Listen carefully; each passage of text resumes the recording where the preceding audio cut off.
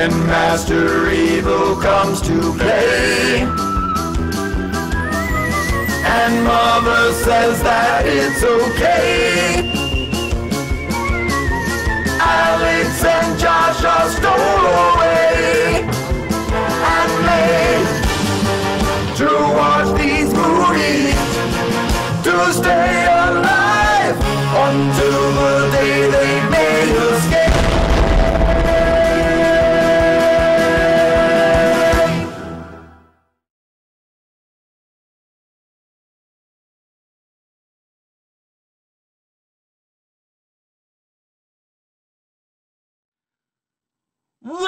prisoners, I see you have nothing to do.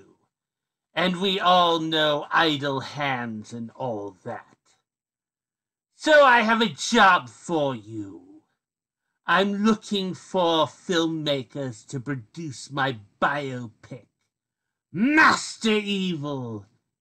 Everybody wants to rule the world. And I'm going to use you two bozos as my interviewers to help me find the perfect director for my life story movie. So tonight you will be interviewing the director of Jason Goes to Hell and Secret Santa and the upcoming documentary Hearts of Darkness, the making of the final Friday. So go on, prisoners, and vet Adam Marcus for me. I will be watching and expect to know every detail you can possibly get about his experience in film. Now get to work! Ma! What's for dinner? Me and Mr. Flivver want lasagna! Okay, I didn't have anything else going on here. Uh, I have uh, Sister Evil dropped by and was doing a list of things, torture ideas, I guess. You still got the rodeo clown over there? Yeah, but he's been really quiet lately. I, I he just and he's got some sort of thing going on with uh he's got sleep apnea, but he doesn't snore, he just giggles. Okay. It's creepy. Wow. It's really creepy. He doesn't snore. He he like uh, Oh my god. Yeah. Okay, that that's I that could- never happened. I never heard that before. Whenever he was here. Uh, maybe he's putting it on. I don't know what's going on, but it's it's odd because I can barely sleep over here as it is because I'm really uncomfortable. But this is making it like almost unbearable. probably echoes in the barrel too. Um, so we get to talk to another human being. The only thing I'm worried about is the last time we did an interview with somebody, we got well, not the last time. That was with uh, Ryan Thomas Johnson, but the first time we did an interview, when we first met Master Evil, we ended up getting kidnapped and held prisoner. So, but hey, we get to talk to a, a real Hollywood filmmaker, Adam Marcus. That's going to be cool. Uh, I'm more excited to just ask him if he can help us out than to ask him any questions about his career. To be honest with you, if I if it's full disclosure, because I'm tired of this living situation. I'm tired. I'm sick of my life. To be bad honest with you. movies, man. Bad movies. That's pretty bad too. Um, got another one coming up soon. What do you say? We'll hit him up. We'll ask some questions, and I mean, Master Evil's watching, so we don't want to be too. We need to be kind of subtle about it. Um, not like we were with Ryan, because that didn't get us anywhere. Yeah, I think that made things worse, but I can't remember. I'm I, after. I don't know what happened. It's almost like our memory got wiped, and I only remember the terrible movies. I it's like there's a blankness, like Yeah. like a not like a heavy night of drinking. I guess a heavy night of shitty movies blacks you out the same exact way as a heavy night of drinking. I wonder if Master Evil did something with our memories at some point. I don't know. I you know what? And sometimes he'll randomly give me pills, and he'll say they're vitamins and they're good. Yeah, he just says they're good for me, but And you take I them? don't know. Why? What? What am I supposed to do? them or something? I never thought about that. Yeah, that's what I do. I got a whole uh, jar full of them. Um, Oh, so you- you're saving them like you're saving them like James Caan did in Misery, then, huh? yeah, I'm gonna give them back to one of them if I ever get the chance. So uh, I guess we're going to connect with Adam Marcus. Are you looking forward to this? Yeah, I am. I'm just I'm hoping it's actually Adam Marcus and not some terrible prank that Master Evil Mr. has Flibble planned. dressed up as Adam Yeah, Marcus? because the last time, remember what happened when he said he was going to get you a Katy Perry calendar, and it was just you know, It's him. Katy Perry. yeah, it was just him dressed up as It's different weird. Katy feel like Perry album covers. I feel like I shouldn't be able to remember that, but I do. It's weird. That it well, certain trauma. I don't think you actually remember it. I think you more along the lines of you just feel it. It's just in your DNA. yeah, it's just like imprinted on you. All right, let's uh, let's open up the vault and uh, talk to Adam.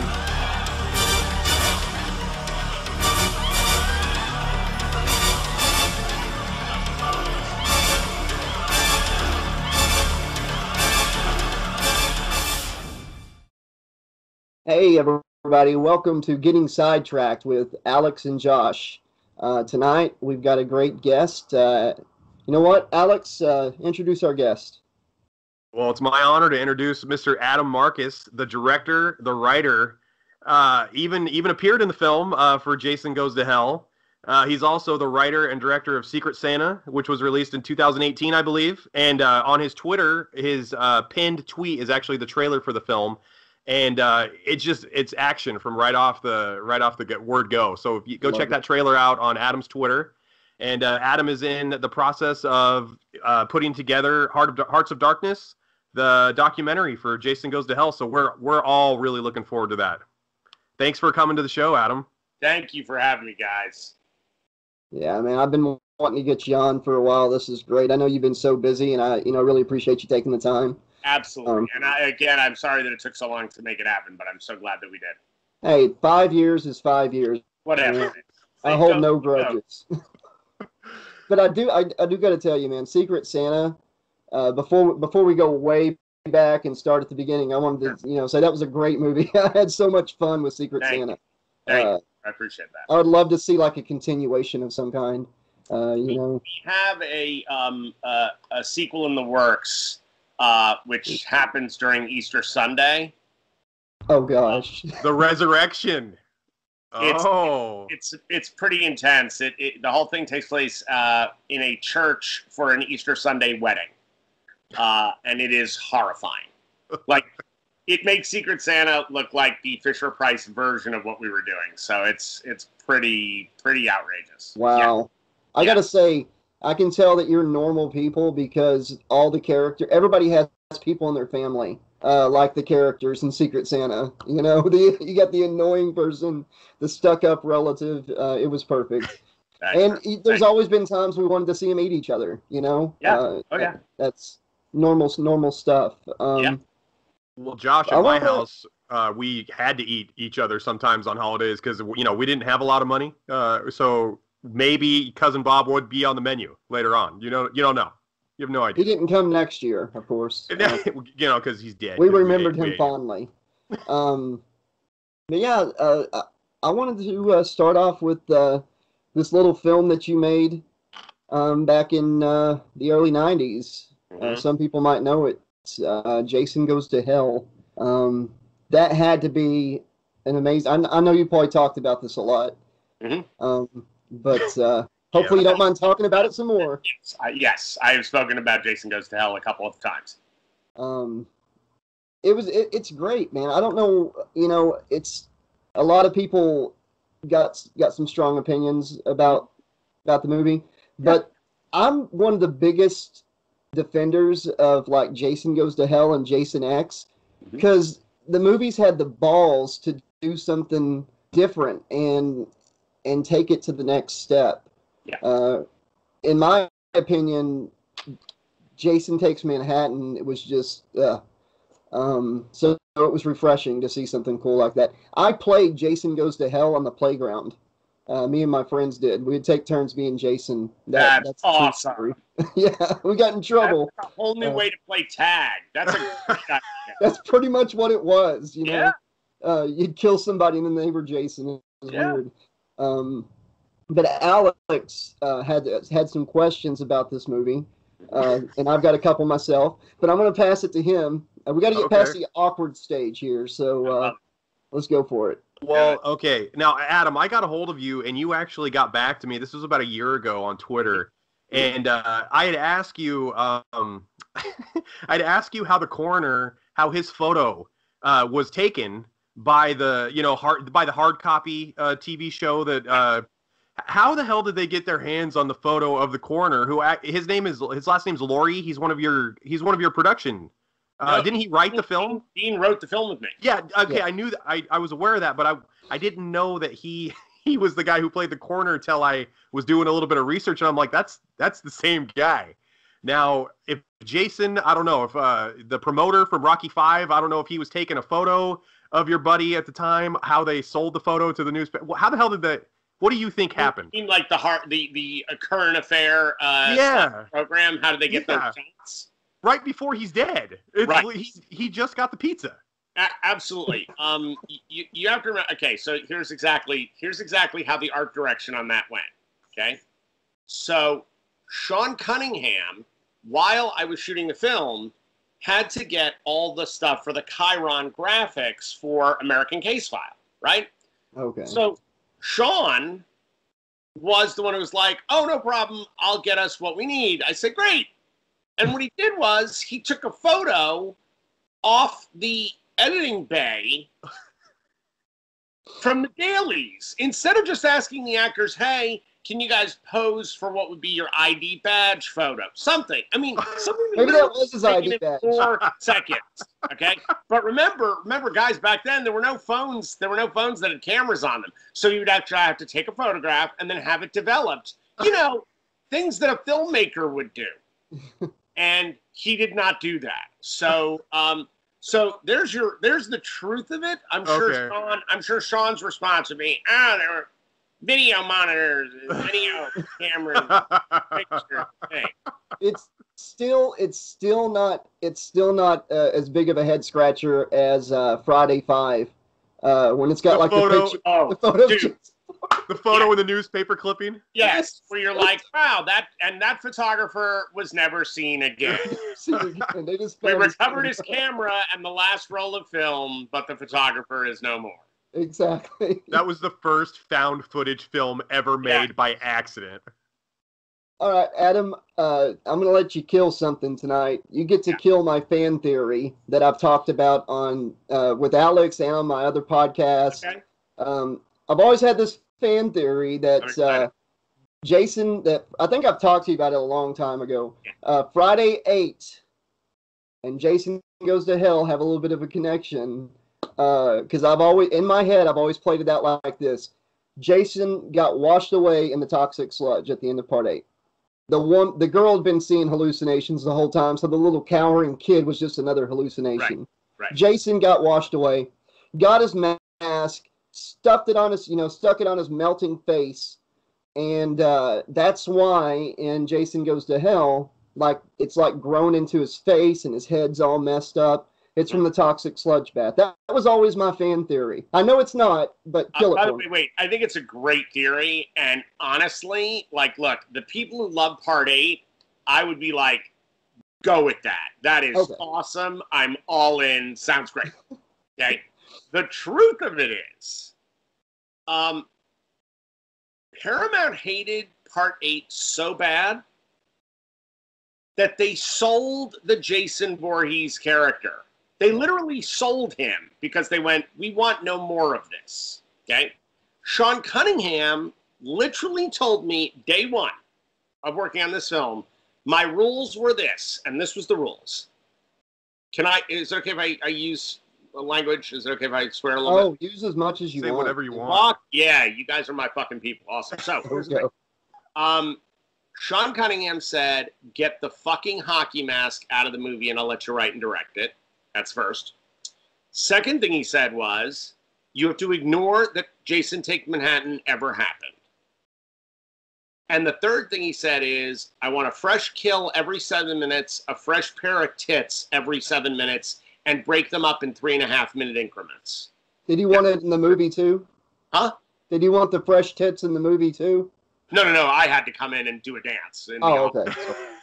Um, Got So uh, that was that was literally those were my marching orders. Um, Sean loves to kind of make up a different version of this, um, as though I'm the one who said we need to take that mask out of the movie, Sean Cunningham. I was 22 when I t- when I got the job, by the way, guys. So, 22 year old me told 50 plus year old Sean S. Cunningham, you know, the guy who created the biggest franchise in horror movie history. I told him what he was going to do with his. That's how that works. Yeah. Oh God, Sean. right. Exactly. I Exactly. can just I can see that meeting.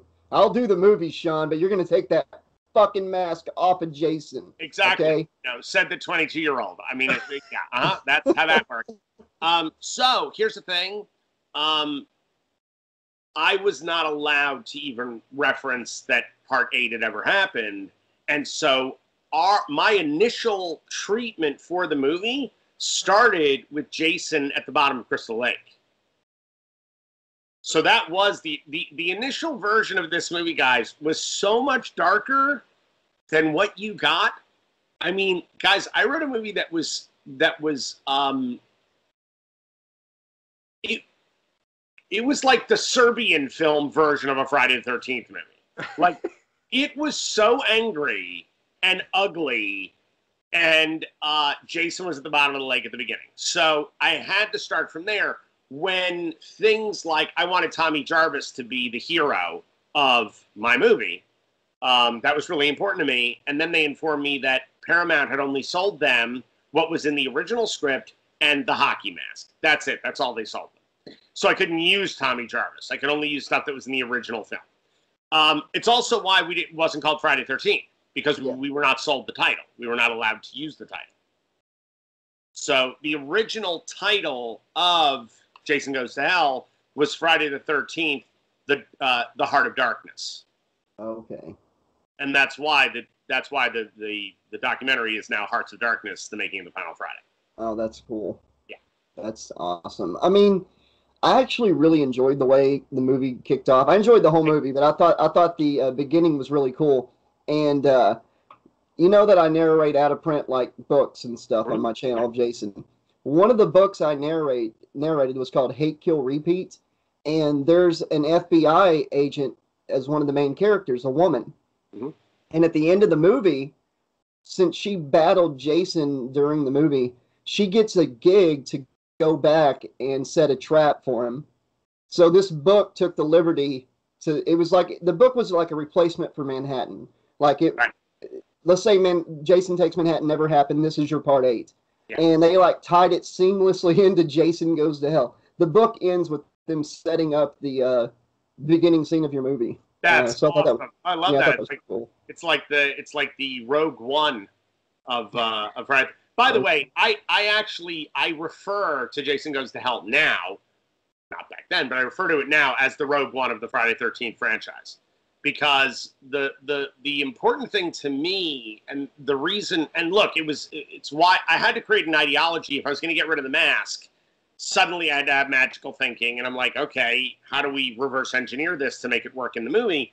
But my big problem with the Friday films and again guys remember I, I, I was around the set for the first movie.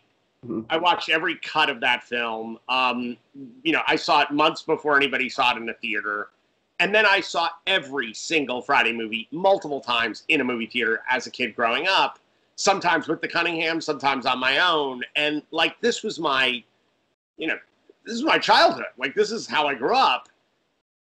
My problem right with part two, and by the way, this was Sean's problem too. He never talks about it, but he hate, he hates the Friday the 13th movies. He Right. hates them. Okay? He is not a fan. Um, my problem with the movies was that right in part two, I was like, wait a second. That's the kid from the lake? Yeah. It's been two months since. How? What did he eat? A tree? Yeah. How is that the same guy? That was a kid. So here's the thing you got a kid living in a lake for 30 years, right? Um, at the end of the at the beginning of the 80s, he is still a child. So the lake waterlogged evil hydrocephalic headed child is still a child. So that's magic. That's not we're not on planet Earth anymore. The fact that from in 2 months he gained 120 pounds of muscle, learned, found clothes that fit him, learned how to read because the only way you could find somebody back then was in the yellow pages or the white pages. Then he got a driver's license, hopped on over to Alice's because he learned how to drive. He killed her. Oh, by the way, he brought his mom's head with him. He kills her, then takes her body and the head back to Crystal Lake to his little shanty cabin, right? Okay. So if we're gonna we're buying that, right? That's now by the way, the number of fans I know who have tried to legitimize this idea as like, well, that can happen. No, no, it can't. I mean, Yeah, I love I love that the Halloween franchise gets shit for the fact that Michael Myers can drive. Right? Yeah. Well, hey, like- it, it, at least Jason was smart enough to bring his mother's head because then he could use the carpool lane. So So see, I wasn't even thinking that way. you know He what I'm had talking it about? covered on the way back. He, but but, not the way you know, he hadn't been able to work for 30 years, so he has he doesn't have a lot of money, so he's got to be economical about this trip to murder Alice. So I'm just telling you guys, that's what I think happened. The book for the movie uh, tries so hard to like make it make it all make sense, and it's just so convoluted uh, how it goes By the down. way, there's nothing. Look, there's nothing wrong with that. It's a horror movie. I get it. But Yeah. my sense was, if we're gonna go there to part two, by part four, he has been murdered so many times, been fucking killed a bunch of times. This character. Finally, Tommy cuts his head into hamburger meat, and we all were like cheering, and it was fucking amazing, and what a great thing. By part five, it's not even Jason anymore; it's a different character. Part six, he's resurrected a la Frankenstein's monster in a graveyard with electricity. Now he's zombie Jason. And again, everybody's like, that's cool. By part seven, he's battling Carrie. So I love that Sean's cinematic larceny from the end of part one suddenly comes back to haunt him in part seven hmm right? so now he's battling Carrie. Then he goes and takes the circle line around Manhattan, right? Okay. So when they get to me, I was like, hey, guys, can we go back to that problem between one and two? Can we, like, can we solve that? So that's why the Necronomicon is in the movie. That's why. Okay. And that's what I was doing. So much like Rogue One going, um, hey, um, that whole thing in, in the first Star Wars, you know, when when there's a four meter hole big enough to put a put a blast down and that will make the entire Death Star blow up. Isn't that a little bit of a design problem from the people who made the Death Star? Well, Rogue One, like I was out of my mind when I saw Rogue One because like finally someone answered this. This is great. They had to make a whole movie for it, but yeah. But Jason Goes to Hell, truly for me, was about solving the logic problems that even as a 12 year old, I was like, none of this makes sense to me. Someone explain this. what if what if when he got out of the lake when he saw his mom die, right? And as soon as the air hit him, he went into like instant puberty and 30 years of aging all at once. That's why his hair's all messed up. It's exactly No. the way it works in biology. And he Yeah. sprouts clothing, you know? Well, Josh, he should first of all, if Jason really did see his mom get killed, okay, and he's taken out his aggression for you know 40 years on all these counselors, the only person he should be pissed off at is himself because he saw her get killed. Why didn't he get out of the water and go do something? I something? know, right? Well, okay, but here, wait, but here's my here's my thought on this and why why I built it the way I did. My feeling was Pamela would do anything for her Jason to come back. That's that that's what she lived and breathed for. She she Yeah. she loved this child. The way any mother loves their child, no matter what that kid does, no matter how fucked it is, fucked up it is, that mother loves that child. Great. So now you've got a woman hell bent, literally and figuratively, on bringing her son back. Great. So wouldn't she turn to the dark arts at some point? Wouldn't she? Wouldn't she fig- try to find out if there's some way to resurrect him through those means? Well, guess what? There's this Book of the Dead that if you read from it, you can reanimate people. And again, I know that people go, well, is he a deadite or a revenant? I'm like, oh my God, jackasses, it's a big book. It's not two pages. It's not the one page you hear repeated 17 times in the Evil Dead films. It's a book. So I figured if Pamela does resurrect Jason, now imagine this. Remember, Jason is a special needs kid. Now you've got this special needs child at the bottom of a cold, dark lake. He has no idea where he is. That's his hell. Here's this kid, all he can do is look up, and he's terrified of the world, and he's definitely terrified of camper of counselors. Those are the people who will be around him. So why would he go back up to them? They're the ones who hurt him. Children hurt him. Here's this still this scared kid, even though he's been resurrected with this evil. Now, he sees his mom at the edge of the lake. First time he's seen his mother. He starts coming coming up from the water to get to his mother, to his mother, to his mother, and Alice cuts off her head. Alice gets out on the canoe for God knows what reason. Alice is on a fucking canoe. and he leaps up and pulls her down into the lake. And that's his first act of aggression. And yes, at that point, his his rage and the fact that the one person who protected him in the real world, the fact the one person he really loved is now dead, that makes this this thing rise from from from the depths of Crystal Lake to become the golem of vengeance that will come after anyone who remotely is like Alice. So that I went, okay, I buy that story. Now here's the thing: I didn't own anything from Evil Dead. I just got Sam Raimi to hand me a, a Necronomicon and let me copy the dagger, which he was very sweet to do. He was- It was awesome, but I couldn't use the words Evil Dead. I couldn't get into that. So I went, great. We're going to imply all of this. So in the Voorhees house, where Pamela and Ray's Jason, there's the Necronomicon. The dagger that that Creighton Duke has is the dagger. Like it's it's all just right in front of you. And again, if I understood it, and I'm a big horror geek, I was like, well, surely all my horror geek friends will understand it. And literally, when this came up, I don't know, eight years ago, nine years ago, when f- finally someone said, Why is the Necronomicon in the movie? Not, it's cool that it's there, what a great reference, but why is it there? I was like, Oh, thank God. Right. Because, because of all of this. Exactly. That that's awesome, man. That actually, wow. I hope I hope people watching right now, uh, you know, that hadn't thought of that, puts it all together because that's really cool. There's actually a book, uh, The Mask of Jason Voorhees, that goes into some of that, and which Mhm. is pretty cool. Um, uh, William did a really good job on that. Um, which is another question I wanted to ask you about the movie. First off, like all I got stuck in my head right now is Jason driving to go to Alice's and someone cuts him off and he's like, "Oh, you just cut off the wrong person." You know? but uh the actor, man, you got you got the guy from the TV series. What like how did that how did that whole thing happen? I've never heard this story. You know, that's a John question I really wanted to ask you. Yeah, John D. LeMay. John Yeah. is first off. First off, he's, he's an amazing dude. Um, what happened with John?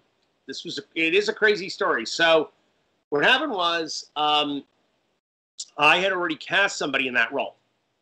I'd cast the actor Jonathan Penner um, to play Stephen. Okay, Jonathan Penner, uh, amazing guy. Um, he is most recently he wrote the bye bye man which his wife stacy title directed. Stacy just just died a few months ago guys um, from als uh, amazing woman like really incredible filmmaker and a great lady. Anyway jonathan and her and her had been working together for years. They did an incredible movie called the last supper. If you've never seen it you gotta see it. It's unbelievable like amazing film um, it's so good guys trust me on this so the last supper you gotta check it out so Jonathan was an actor at that point. He hadn't been screenwriting yet, and he was in Amityville '92. It's about time. It's one of the leads of that. He had done a bunch of like kind of cool little movies, and I met with him, and we just hit it off instantaneously. We're friends to this day. He's an amazing guy. He end he ended up not because uh, we had to push production two months because Bob Shaye came back from France. He had been away for three months and saw that Mike DeLuca and Mark Ordesky had greenlit our movie, and he lost his shit Oh and was God. like, "This, this is this garbage needs a rewrite," Unless uh, I get a cameo. Sorry. which is a whole other story, which is hilarious. Uh, so we had to bump for two months. Well, we lost Jonathan because of that because he had another film that he'd already scheduled. So we, um, so I said, look, I said, I still want you in the movie. Can you come out for a day? He was like, dude, of course. For you, yeah, I'm, I'm there. So Jonathan ended up playing Vicky's boyfriend, David, in the scene that got cut that now you can only see on the Blu-ray and stuff. The, the guy who is he basically gets naked and gets his fucking head bashed into the sink. Um, and uh, yeah, it's all, it's a great scene. And he's awesome dude. So I had that guy. He was supposed to be the lead, and then he fell out. And I really had like weeks to recast. And it took a long time to get to get Jonathan involved. So I was like, what the fuck am I gonna do? Well, my first AD, uh, a guy named Sam Mahoney, who by the way, Sam went from our film and then he first AD'd Pulp Fiction, like right after it. Wow. Um, Sam Sam's a Sam's a badass. He, I don't think he's an AD anymore. He, I think he uh, he moved to Denver and he has a bar now. He's awesome guy. Anyway, Sam uh, he was like six foot four, the spitting image of Michael McDonald from the Doobie Brothers, um, but just a badass. He said to me, he says, he says, uh, Adam, hey, uh, I worked on that Friday Thirteenth uh, the series there's a guy on that show who's just dynamite. And I was like, oh, you mean the guy plays Lee, John LeMay? He's like, he's great. I said, isn't he a little young? He says, not anymore, man. and Just had a birthday. literally, literally, the guy comes in, John comes in like two days later to meet with me. We sat down, had about a, an hour and a half discussion, just talking. I didn't want to, like, don't read for me, let's just talk. And uh, he totally got what I was trying to do. And he was kind of, he was like, you know, I, I've been doing the series. Most people don't even know the series exists. We're like a little show, and it's great that we're doing it. But the show had wrapped up, and he was like, I'd love to actually be in a Friday the 13th film. And I was like, all right, let's do it, man. Like, you're awesome. So the guy, you know, he's a beauty, like seriously trained actor. The my my my only issue with John, and we we battled on set about this a lot. I really wanted him to play it, you know, kind of close to Bruce Willis in Die Hard, Yeah. and he wanted to be Hamlet. And I was like, listen, dude, it's a Friday Thirteenth movie. Like, you gotta lighten up, Francis. Like, we gotta, you gotta have some fun, man. We gotta, like, this has got to be fun, you know. Uh, but I will say, we met in the middle, and it was cool because he has some moments in that movie that are so beautifully acted that I'm so like proud of his work in the movie. Where I'm like, yeah, I, I let him make a choice. Where I'm like, you know what, man, it's your character, you're crafting it, do your thing. And he would really come out with some stuff that was like touching and amazing in the movie. And again, you know, look, because I was told this was the final Friday, you know, it's in the title. Um, I wanted to make it a bookend with the original film. So the first movie is ostensibly the story of a woman who loses her son. I wanted the last movie to be about a father who finds his daughter. And kind of bookend the movie, the movies that way, you know, give it actually some sense of um, not just shape, but there. I wanted there to be. I wanted people to have a feeling at the end of this movie. And here's the thing: like the cool thing about part one, as dopey as those characters are, there there's some really good work in that movie from an acting standpoint, and you care about those people when they disappear in the movie. By the way, part two I think is the best at that. Part two, every time somebody's gone, you kind of give a shit because you you're invested, and the actors are so good in that movie. And Steve Adam? Miner, Steve Miner's a good director. I mean, I still, I'm still worried about you know Paul from part two. I don't even know what happened to him. He's still drinking. He's at the bar right now. He is No, no, no, literally Not, still not drunk. Yeah, Not him. That, that guy got away, but I'm talking about the main Oh. guy at the end that you don't know if he lived or died. You know, and, And dude, I mean, I'm sorry. Is there any any final girl as badass as Amy Steele? Come on. Well, she's Jesse, smart. not I mean, her whole character is genius. She uses She's the psychological she, advantage. she was the best. And For and by the way, she also looks like a girl who actually you would grow up next door to. Like she's really the girl next door. Oh yeah, she'd be doing the double dutch rope with the other girl next door, and then just Yeah. making me look like an ass. Yeah, for sure. That big, that whole plot line from the remake came from her per- portrayal. Yep. You know, uh, in in part two. Yep. Um. So yeah, she's she's definitely the top probably the top final girl there. I mean, so I wanted I wanted Jason Goes to Hell to have characters that you gave a shit about, so that when they would die, when they would get dispatched from the film, you actually were like, "Oh shit, I like that." Like, I'm sorry for my money, and and, and you know, she I never feel like she gets her her fair due, but Allison Smith, the Vicky character, I mean, I, will put her up against any woman in any of the Friday Thirteens. She is such a badass. She's so sweet. And when when that shotgun comes out and she's like, "Fuck this," I mean, Yeah, yeah. She no, she's a badass, and also I had a sp- very specific question about her. yeah, Now, okay, so I don't know how Crystal Lake, uh, the town itself, is doing for like CSI. I don't know if they're hurting budget wise. How come she's scrubbing the blood out of the carpet, out of uh, you know where Aaron, you know Aaron had just died? So she took it upon herself to clean a crime scene. I mean, Well, here's why. There's there's a reason. There is a reason. Okay. she goes over there, and it's the sheriff who has who won't let anybody else touch the crime scene because that's his girlfriend, mm, and he's there cleaning it and sobbing, and she comes in and moves him out and says, "You don't got to do this." So that was that was the logic behind it. There was a character reason why we did that. okay, Um, she was also Jessica's best friend growing up, so she was entrenched in all that drama, yes. and she was actually trying to do something nice for Sheriff Landis. That was the idea. She- she could have easily been, and I like that you said that about her. her- She could have been the final girl. You Yes. could have, you could have she was flipped a it. badass. She, because she had the personality. She was, uh, she was not morally ambiguous. You knew that she was a good person, and she Yeah. definitely had the balls to to stand up to. She stood up to Jason Voorhees. She took a shotgun from the back of the diner, and uh, she pushed those, you know, Voorhees burger baskets out of the way, and she shot the shit out of him. Okay. And One she died. patty, two burgers. Yeah, it- and also another thing about that scene, I just I just refreshed on this movie. I you know by the way I've watched that movie like a hundred times because it was one of my favorites growing up. Thanks, Uh. I just I just rewatched it again. Um, the scene where the uh, the the host of the show is killing her and he's pulling her onto the the pole. Stuart. Jason, this yeah, th- this is the first time we see Jason's face actually enjoying his work. Oh yeah. He's he's he's loving it. Oh yeah.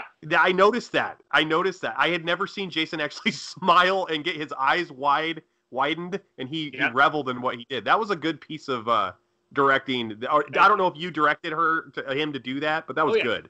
Oh yeah. yeah. Okay, that was She- fantastic. She she did everything she could to protect that little bucket of sunshine. You She know, really did. little baby back really there. did. Everybody- ray sunshine. I want to hear. I want to see now that you said the words together. CSI Crystal Lake. It's a great idea. Let's do oh it. my god! Let's Great do idea. it. Dude, I gotta tell you, my my um because I, I get asked a lot like, oh, if you did another Friday thirteenth, what would you do? And really what I would do because first off, you know, Creighton Duke didn't die. Yeah. So Okay. He didn't die. Sweet. I- Okay. You heard it here. he, Awesome. he breathes at the end of that scene. Um the uh plus Steve Williams and I are working on a Creighton Duke project together. But Oh my God. um that was one of my questions, by the way. oh yeah. Loved him on Supernatural. But Man. he's because he's the fucking man. He is the man. Um, we came to interview him for the documentary for for Hearts Darkness, and um, he came to the door. No joke. No shirt on. With a hot dog and a donut. No, a beer in one hand and a knife in the other. That was like, sounds right. What the fuck you doing here? And my team was like, "We're here to interview." It's like, ah, it's fucking with you. Come on, come on. in." he was a That- character. Yes. Stephen Williams is he is the re, he is the real deal, man. He is the guy that you see in these movies. But but um my my dream project would be that uh, Jason is back and a team of bounty hunters led by Creighton Duke with this huge fucking gnarly back brace that he wears because of his broken back. Um, they go after him predator style. Oh my god! Just green light it. Call call Shane Black right now. Right? Let's get it. Adam Right. Marcus Shane Black sense. production. you've got an expanse of woods out in Jersey, just endless. And these guys have to go after it, go into those woods. It's it's basically like how do you take like Predator, Bigfoot, and a Friday Thirteenth movie, shove them together, That's, and that's the Take my money. Take my money. That Uh, definitely. when I first saw uh, him and Steven in the, the first film I ever saw was actually the Blues Brothers, where he's one of the police officers chasing Jake and Elwood, and he's like, "I'm gonna get that son of a bitch." I So I good, love. man. Yeah, He's he has so freaking good. Yeah. He has like six minutes of screen time in that entire. You know, Blues Brothers is like five and a half hours long. So. uh You know, I was I didn't we didn't even have enough money when I was a kid to rent all of Blues Brothers because it came on like five VHS tapes. right.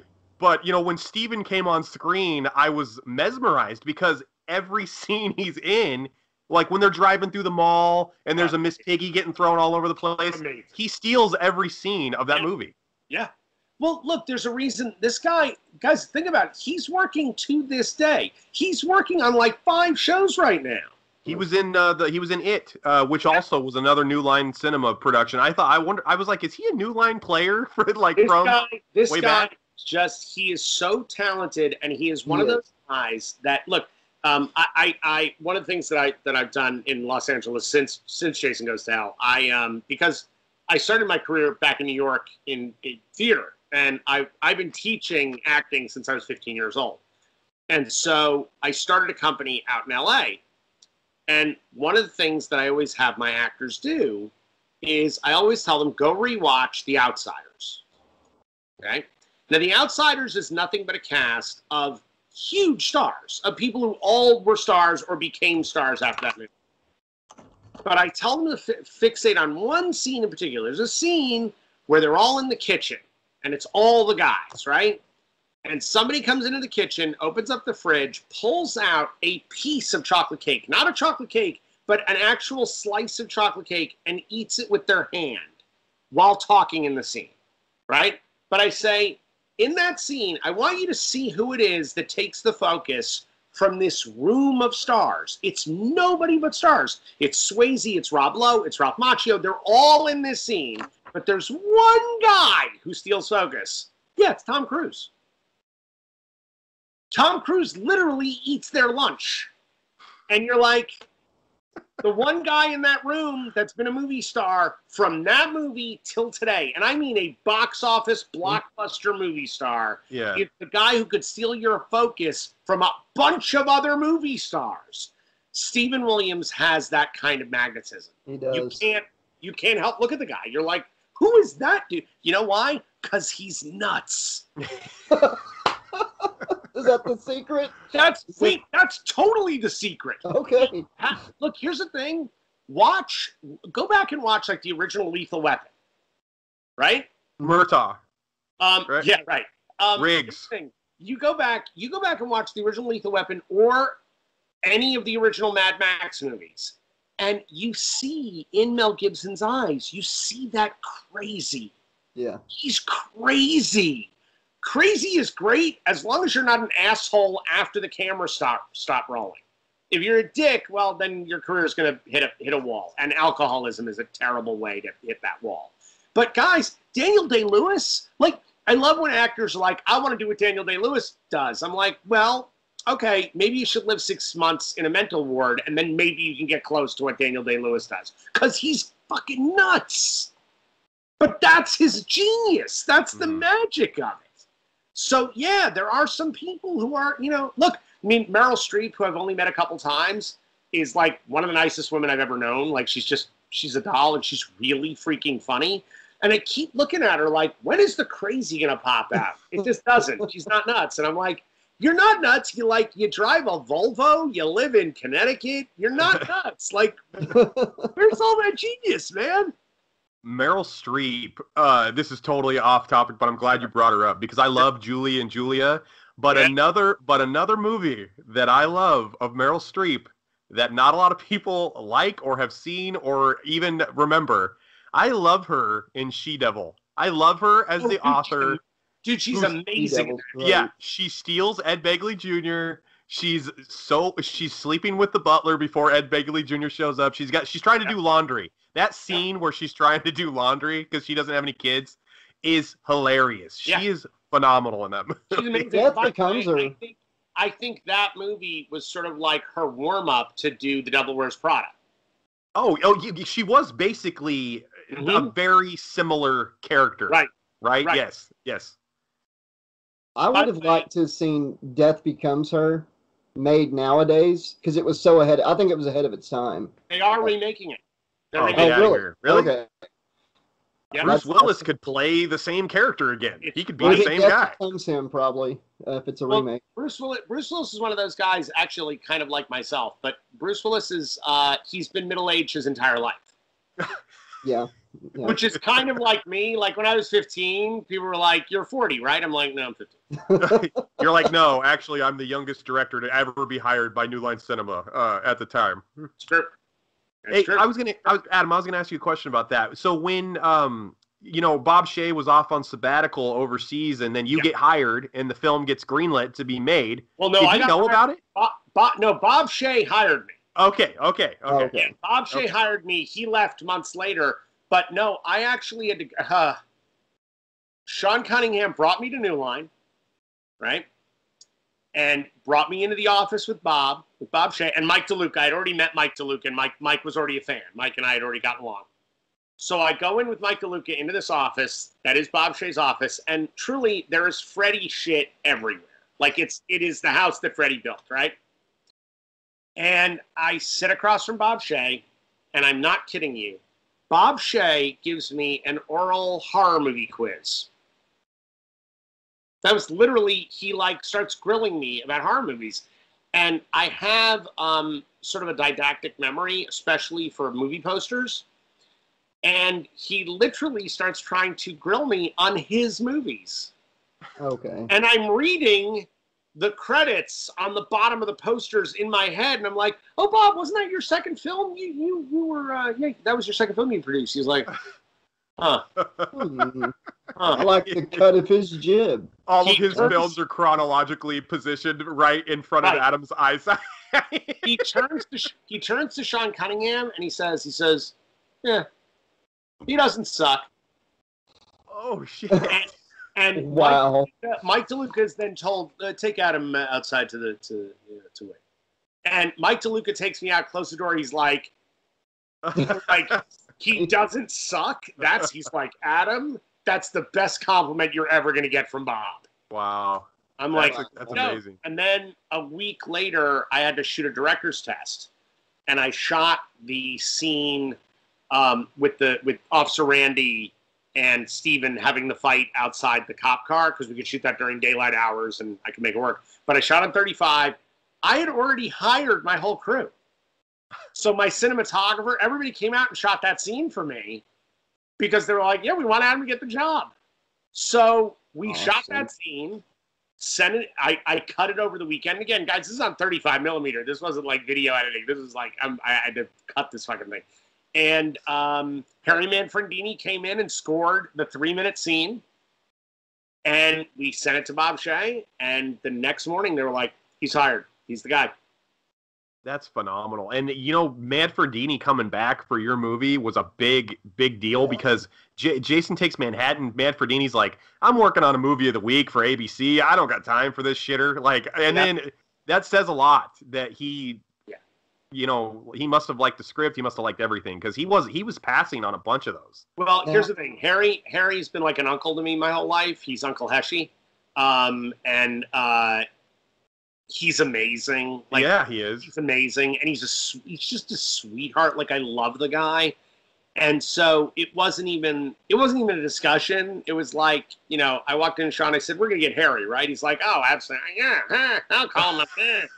um, So- and next thing you know we had him so yeah he he jumped back in Did And Harry? as Oh, oh sorry, Josh. No, I was gonna. This is a quick question. Did Harry do the the signature sound of like the Jason sound for Yeah. the sound? Okay, so he did that. That's what ev- anybody that I talk to that isn't a horror person knows that sound from Jason Yeah. Goes to Hell. Everybody knows that sound. They might not even know the movie, but they remember that. that's him Yeah, I that's it. gotta, I gotta say, you had some of the best kills in the series. Uh, the tent, uh, that that that kill, the guy getting that one's sweet. Um, Thanks, dude. But you know Alex, what? that's but that's because look, that's because um, I I work with uh, with KNB so meticulously. I mean, I was never in my office at Cunningham Productions. One because I didn't want to be around Sean because he was horrible.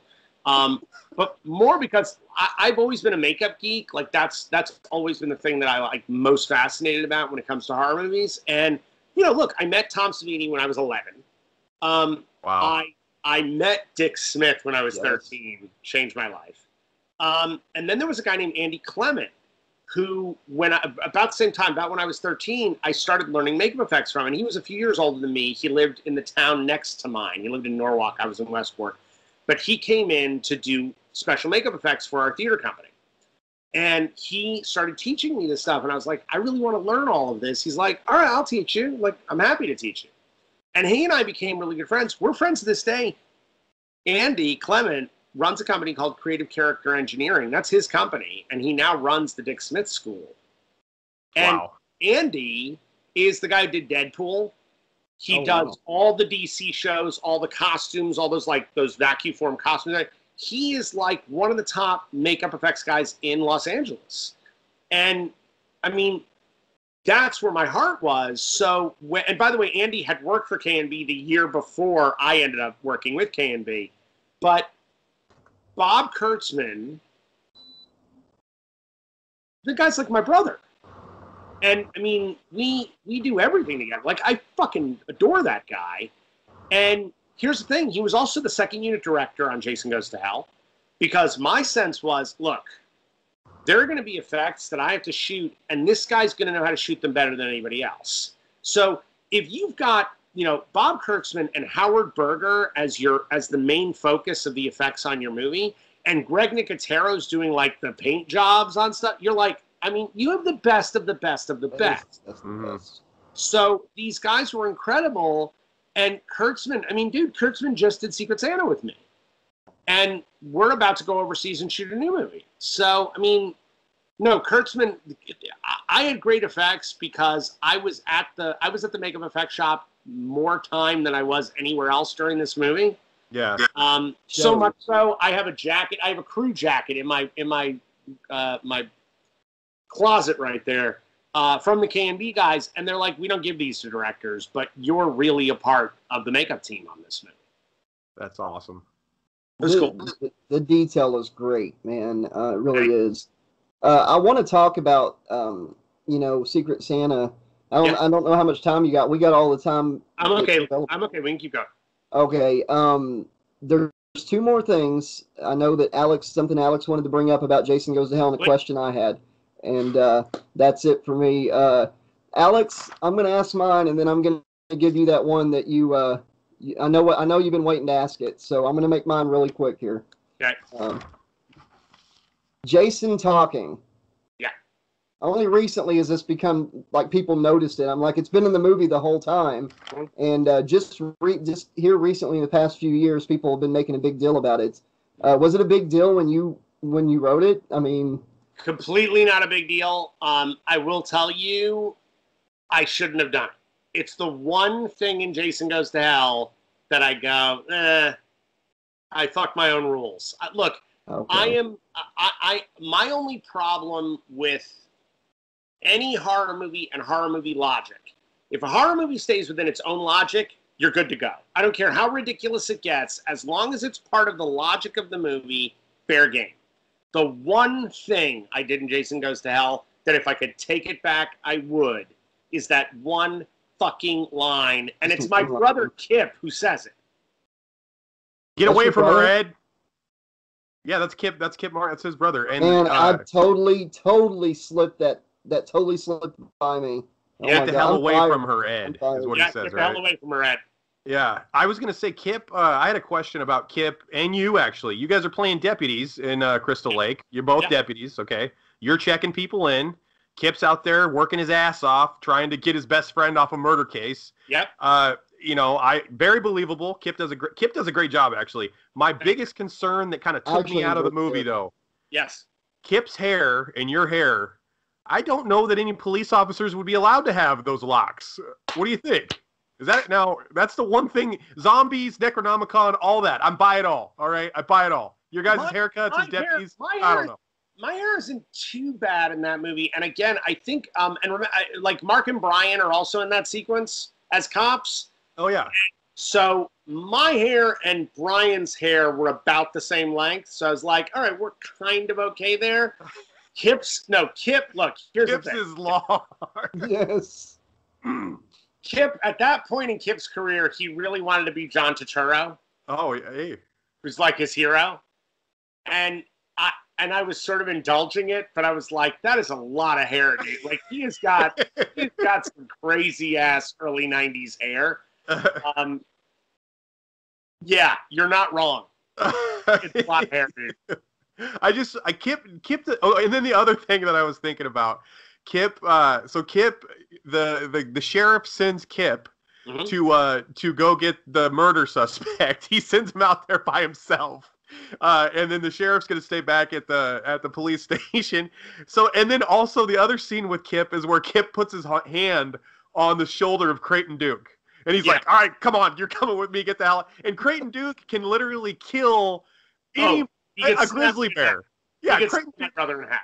Yeah, and it, Cre- oh, and then the the other question. I don't know what. Listen, I don't know. I've seen this movie a thousand times. I love this movie. We used to rent Jason Goes to Hell. My brother and I. A big thing for my brother and I. If we if uh, if we were good, we would get to go to the video store and we would get five dollars, and you could rent five VHS tapes for five days for five bucks. Yep. Jason Goes to Hell was in the rotation weekly.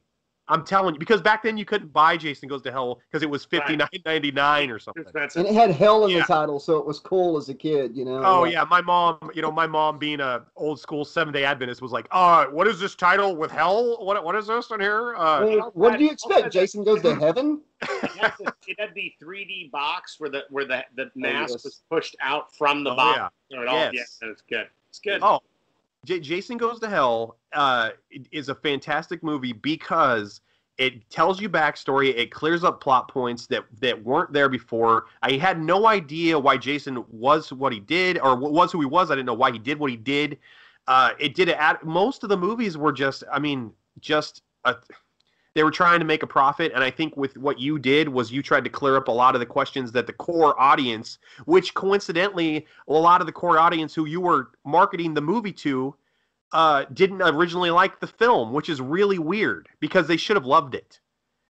Here's the thing: Jason Goes to Hell is sort of like um, it's what I say now about things like The Witch, where I go, "This is why horror movie ha- fans can't have nice things," because like people go out on a limb. Like the horror community is always saying, "We want original voices, we want original things, we want new things." Yeah, be you yourself. something Be original. Right, and they you do something new and original, and they go, "The fuck? Why isn't this the hockey mask and just chopping up teenagers? I don't want to know the mythology. Why are you telling me?" Well, you were asking for new. That's every page of Fangoria is some letter. Why is this so boring? Why is it the same thing over and over again? And I'm like, cause, cause you don't demand better. Some of it is people just jumping on the bandwagon. Yes. they want to fit in, so they just say, "Oh, well, Jason goes to hell and Jason X, those suck." You know, it's like, no, you didn't even take the time to watch it. I guarantee it. You know, when the when the movies first came out, right when they first came out, we were number two at the box office because The Fugitive had just come out, so there was no way we were beating The Fugitive. By the way, uh, uh, my boyfriend's back came out literally the week before Jason Goes to Hell. Yeah, So I had knew it. Years on two subsequent Fridays. Wow, you were the man of Hollywood was for yeah a was great. solid couple months there. So I rented so- that when it first came out. so we came out so we came in number two right the movie made way more money than than part eight had made so they were Yeah. thrilled about that we made the movie for nothing i made the movie for two and a half million dollars it was nothing compared to the other fridays it was like we took a way less amount of money and delivered way more to the screen so all of that happened when the film first happened guys you have to remember every screening of that movie ended with people jumping out of their seats and cheering and applauding because the That's final fine. shot of that movie, right? The final shot of that movie is like, holy fuck, Yeah. right? Okay, so all of that happened. There was no internet, guys. The internet was in, in, in its early infancy. There was no YouTube. There was none of that. Then a decade goes by, and suddenly there's an internet, and then there's YouTube, and then there's that guy who does that video. How New Line destroyed the Friday the 13th franchise. And literally, that's the moment when I start getting hate mail and people wishing me cancer and threatening me and all of this stuff. It happens right then. And now it's turning around. You know, it's back. It really is, and it's awesome. I love it. Yeah, like I, I, I caught flack early on from a couple people. Uh, I posted something about Jason Goes to Hell, and they're like, "Why are you talking about that?" Then like all my people in my group like jumped on there and defended the movie with me, and I was like, "Hell yeah!" Two against like a hundred, you know. I love it. Um, I love it. Look, here's the thing. It's uh, for you know, for years, uh, people were asking me to make a documentary about the movie, right? And it went on forever and ever. And my response to it was, eh, I don't know. I don't know if there's enough interest in that. There's some great stories to tell. There's definitely a lot of shit that went down, but I don't know. And it wasn't until um, a, about a year and a half ago, on my birthday, uh, two guys made um, uh, T.J. Bowser and uh, and uh, Corey Hoffman. The two of them made a um, uh, a fan page for the movie for my birthday, like just as like like a present to me, right? They're just being sweet. That's awesome. that, that is that's freaking Yeah. awesome. And at first, I was like, "Oh, that's really sweet. How nice." Within days, we had a thousand members. I was like, "Wait a minute, what?" Holy crap. And the thing is going strong to this day. And I was like, wow, all right, maybe I should make this freaking documentary. So we go on to Indiegogo to, to, to, because I said, look, if I'm gonna make a documentary, I'm not having my company come out of pocket for it. If the fans want it, they'll pay for it. They'll pay to make the movie happen. Like overnight, they paid for. it. I was like, what the hell? The campaign is still up, dude. It's still Yeah. we're still getting donations. I'm like, That's okay, awesome. great. You're like, I'm gonna start adding some more explosions and car No, chases. To dude seriously i've been adding animations to it because people have been putting money i'm like great and, and again because we're in covid i can't do anything else so Oh, Um, man. so yeah no it's it's it's it's incredible and again look as as time has gone on here's the thing i never bash someone for bashing my movie i don't do it okay i know there's a lot of filmmakers that do and i understand where they're coming from because there is a certain sense of wow you know, Jealousy. No, I'm- well, I'm out there making something, Yeah. and you're in your mom's basement bitching about it. I know for sure. No, Adam, you're 100 percent correct Right. about that. You are. But here's the thing I also have respect for people's opinion on a film. And my response to it is hey, man, it's not for everybody. I get it. I tried to make it for the fans. I, I'm a fan. I wanted to make a movie that I would want to see. So that's what I was trying to do. But I understand if you don't like it. And here's what happens I start to take them down the rabbit hole of the movie. And I go, okay, tell me what it is you don't like. Was not enough hockey mask. Okay, I hear you. Um, did you know that actual screen time of the hockey mask in my movie is actually more than almost all the other films? I don't care that whole that whole demon worm thing. What the fuck is that? I totally hear you. Got it. Got it. You don't like the body hopping. Yeah, it's just like the fucking hidden. You ripped off the hidden. Well, I would have ripped off the hidden had I seen the hidden before I made the movie, but I hadn't. But all respect, I get it. Did you like the kills? Yeah, no, they're badass. And like the tent, like the tent kill.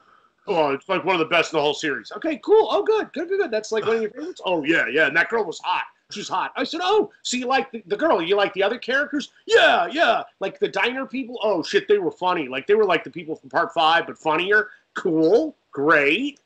Um, did you like? Did you like the, the the hero of the movie? You thought Steven was good? Yeah, no, he was kind of cool. He's, he's a cool dude. I, I get it.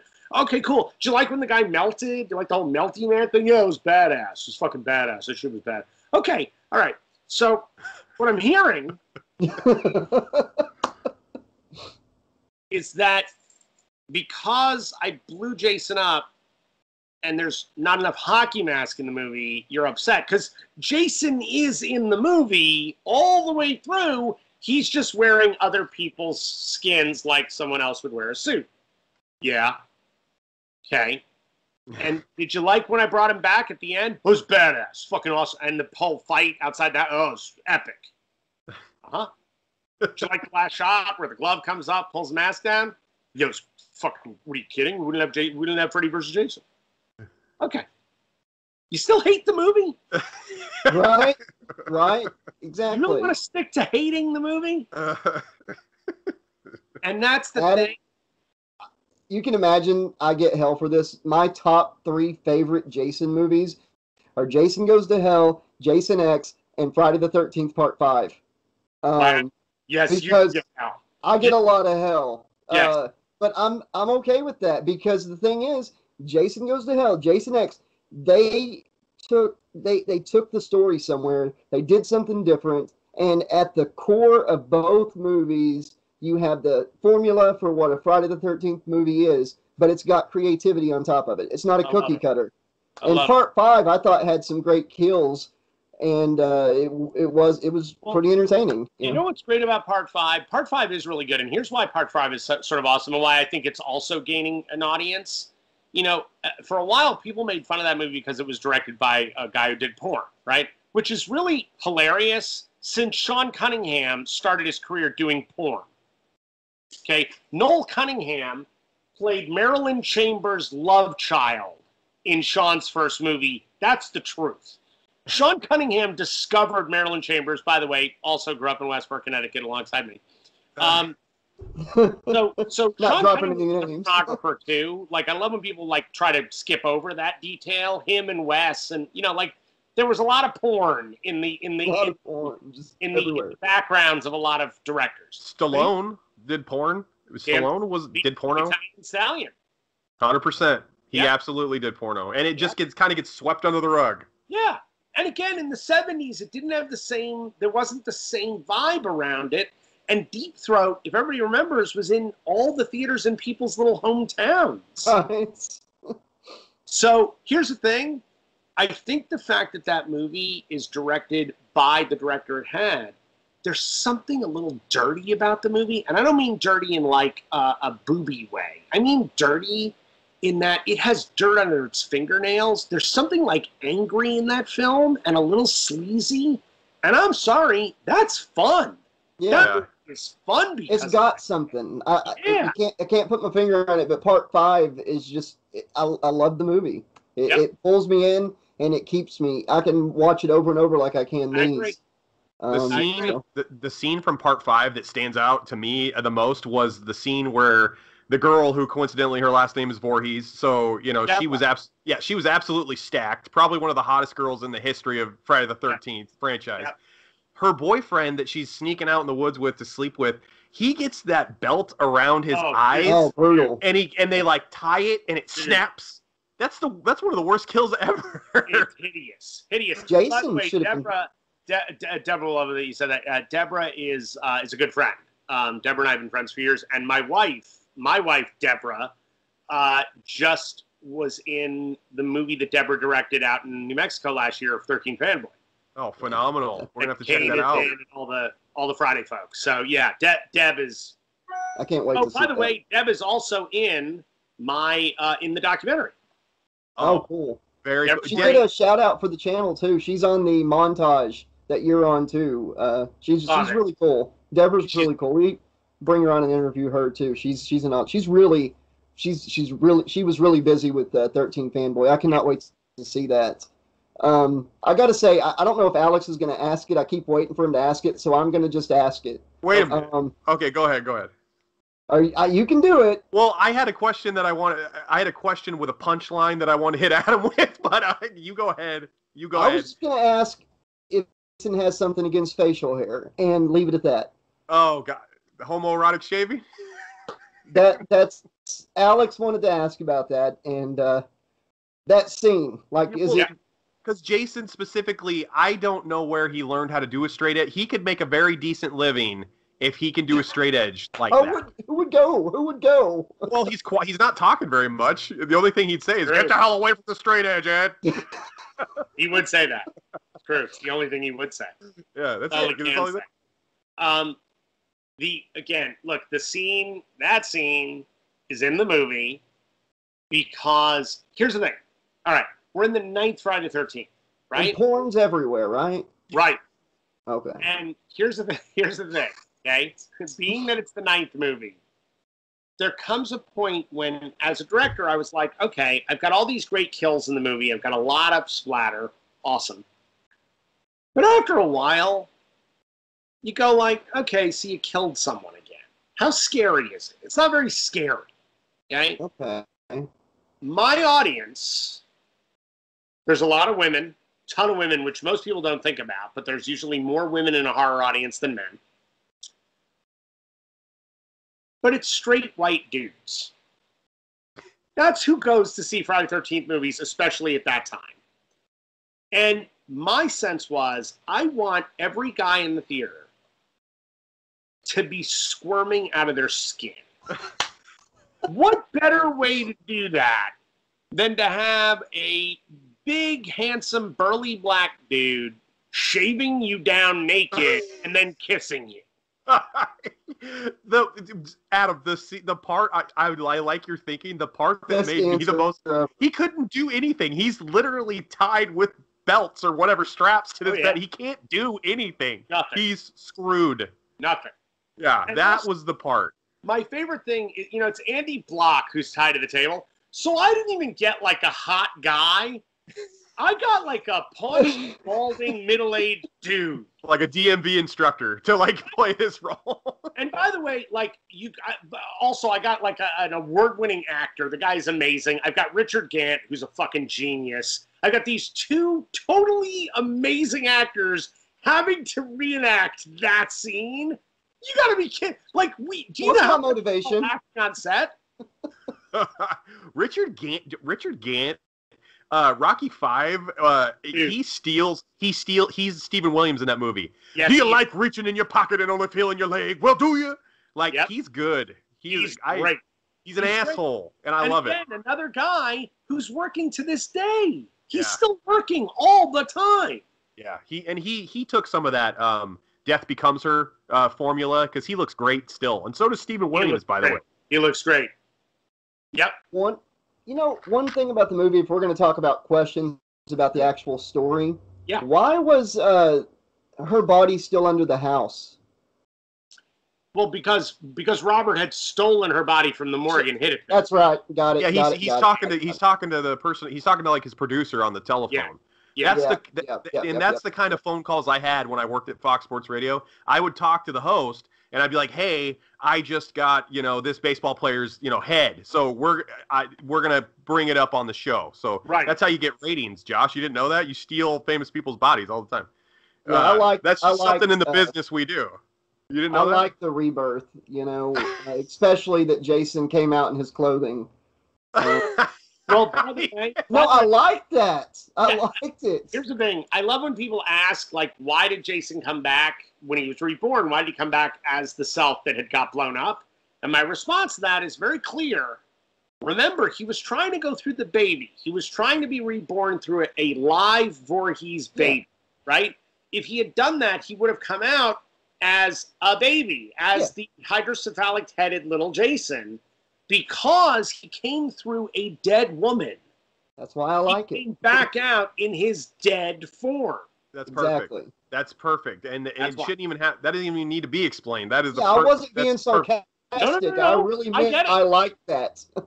I Josh, get it, it- it Josh, you're giving sense. Adam direction. You're calling him out on his on his plot choices. You know what, Josh? That's the first time I've done it. You've done it like seven I haven't times. said no. I asked. I asked Adam. I said, "Sir, I have a question for you. I respect you. Thank you for This helping is- my childhood be better. You're I being you, a this dick." Is most, Yeah. This is the most fun I've had in weeks. So well done.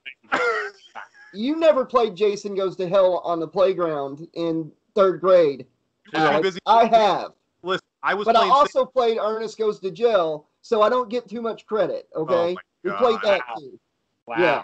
So I mean, You know who would have been good in uh, Joey B's diner? that was last week. huh? Frickin' Jim Varney could have played the part of the other of the, other cook. He would have knocked it out of the park, man. He would have been great. Yeah, Jim Varney and Rim Shot. Jim Varney could be in Joey B's. I don't know if Jim Varney would have uh, agreed with Adam to have his head be in a deep fryer and then be frickin' shot put it on a flat You top know, grill. You You know know what I that, mean, Vern? that- that Leslie Jordan is still mad at me because of that. Wha- he- You know, Leslie Jordan is in a is in like a viral commercial right now that's blown up. He's where such he's, a sweetheart, man. He, Leslie everything I Jordan see him is a, is a name, man. You can sell a television Yes. show on Leslie Jordan. I Leslie agree. With, is yes, He was Leslie's amazing in Lois and Clark, The New Adventures of Superman. If you've never seen him on that show, he was so great. he's so show. good. But I He will was tell so you, good. Ru- Rusty Schwimmer, who plays Joey B, who again like works all the fucking time, yeah. uh, and she lives in Chicago, so people have to go get her to do stuff. Like she doesn't, she doesn't live in L.A. or New York. She lives in, Chi- in Chi-Town, and that woman, guys, I'm telling you, she's like a sister to me to this day. She is such a badass. She's so extraordinary and an amazing actor. But one of the coolest people I've ever known. You had like some uh, speaking of joey b you, those characters uh, like i've never seen a horror movie that had six or seven character actors they're not the star of the film Right. but i was left with a bigger impression with most of their scenes than i was with some of john lemay's scenes and i'm that's Right. nothing against john john No, was playing the hero so he, Yeah. he didn't get a lot of one The liners hero is so usually the the hero is usually the most boring character in the movie. He was the guy who the plot moved through it's like hey john's figuring out why the hell this is going on so let's give exposition to john You know, Like, I had glasses as a kid, and I was insecure about that. And it was cool to see the the hero of a movie not being the jock, you Yep. know, just kind of being the normal guy with the glasses, kind of nerdy, and then kicking Jason's ass. You know, well, he Yeah. gets his ass kicked too, but he fights Jason and puts on a hell of a fight. Yeah. John was taking He some takes freaking shit. yeah. He John was taking some blows from that rake at the end of the movie. That would have killed Yeah. almost anybody else that fought him straight and up he's like that. not the superhero guy. You know, that No. was so cool. That is that. That's what I love about his portrayal in that movie. Uh, the other look, is that- my, my my casting behind the movie really stems from the original Texas Chainsaw Massacre. Okay, and the reasoning I behind feel alive. right, like you look at the people in the Texas Chainsaw Massacre. That is the most fucked up group of young people ever assembled in a van. Because that's Like, real that- life. An attractive bus of people, right? Yeah. Like the hot girl is like, wow, that's the hot girl. I mean, it's like, right, She's like and- bowling alley hot. right. She's like, thanks a lot, Yeah. Adam. Oh, But, but well, she's passed on, but but but but no, I'm just. here's the thing. Here's the thing. We all put ourselves in the van because of that. Like we recognize ourselves in those people. When you suddenly cut to Marcus Nispel, who's a lovely guy, he's a great guy actually. You cut to Marcus Nispel's remake of Texas Chainsaw, and you go, "Why is everybody out of an Abercrombie at Fitch catalog? Mhm. Like it, it doesn't make sense. People aren't this good looking." Yeah, Jessica I- Biel and yeah. Right. And They're get all- I understand your your your final girl being ultra hot. I get it. I get it. I really did. Um, in fact, on Jason Goes to Hell, um, uh, Laurie Holden was originally cast to play Jessica. That's who I want. Laurie and I had been friends for years. She's good And- on Walking Dead. Like, uh, yeah. No, Lori, guys, Lori was so beautiful. It, you, she could stop traffic. Okay. Um, I mean, the woman was just like, oh, I first saw her on The Shield. That was the first thing I saw her on. she's great on the shit. But guys, if you go back, if you look back at her when I was casting her, she was in her early 20s. She had already won a bunch of awards in Canada because she was Canadian.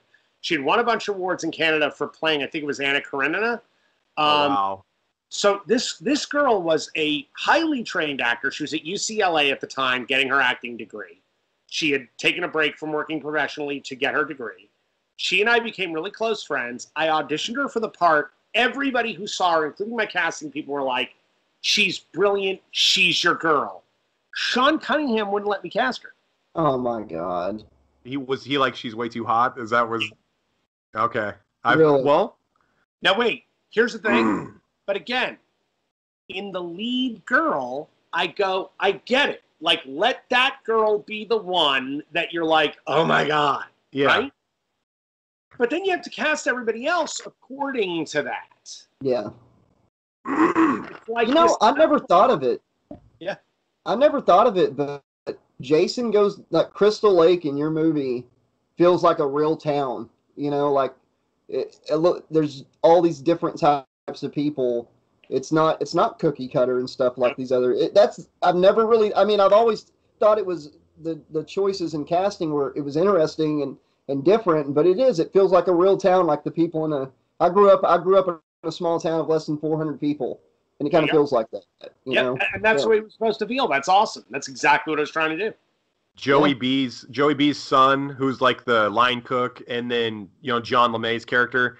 Like in my hometown, I grew up on a small town on the Oregon coast. Uh, you'll have people that have kind of a bit of an age difference, but once you get out of high school, you become friends with people you never thought you'd be friends with. Yeah. Because you know may- maybe Steven ate at that diner all the time, and he had conversation with Joey's, you know, Joey B's son, and they became friends. So it seemed organic and it seemed real. or him to 'cause take it- the keys and Yeah, stuff. yeah. Yeah, he's like, hey, yeah. he's all, hey, You you, know, guys, by these the way, that is that is my single favorite scene of that movie.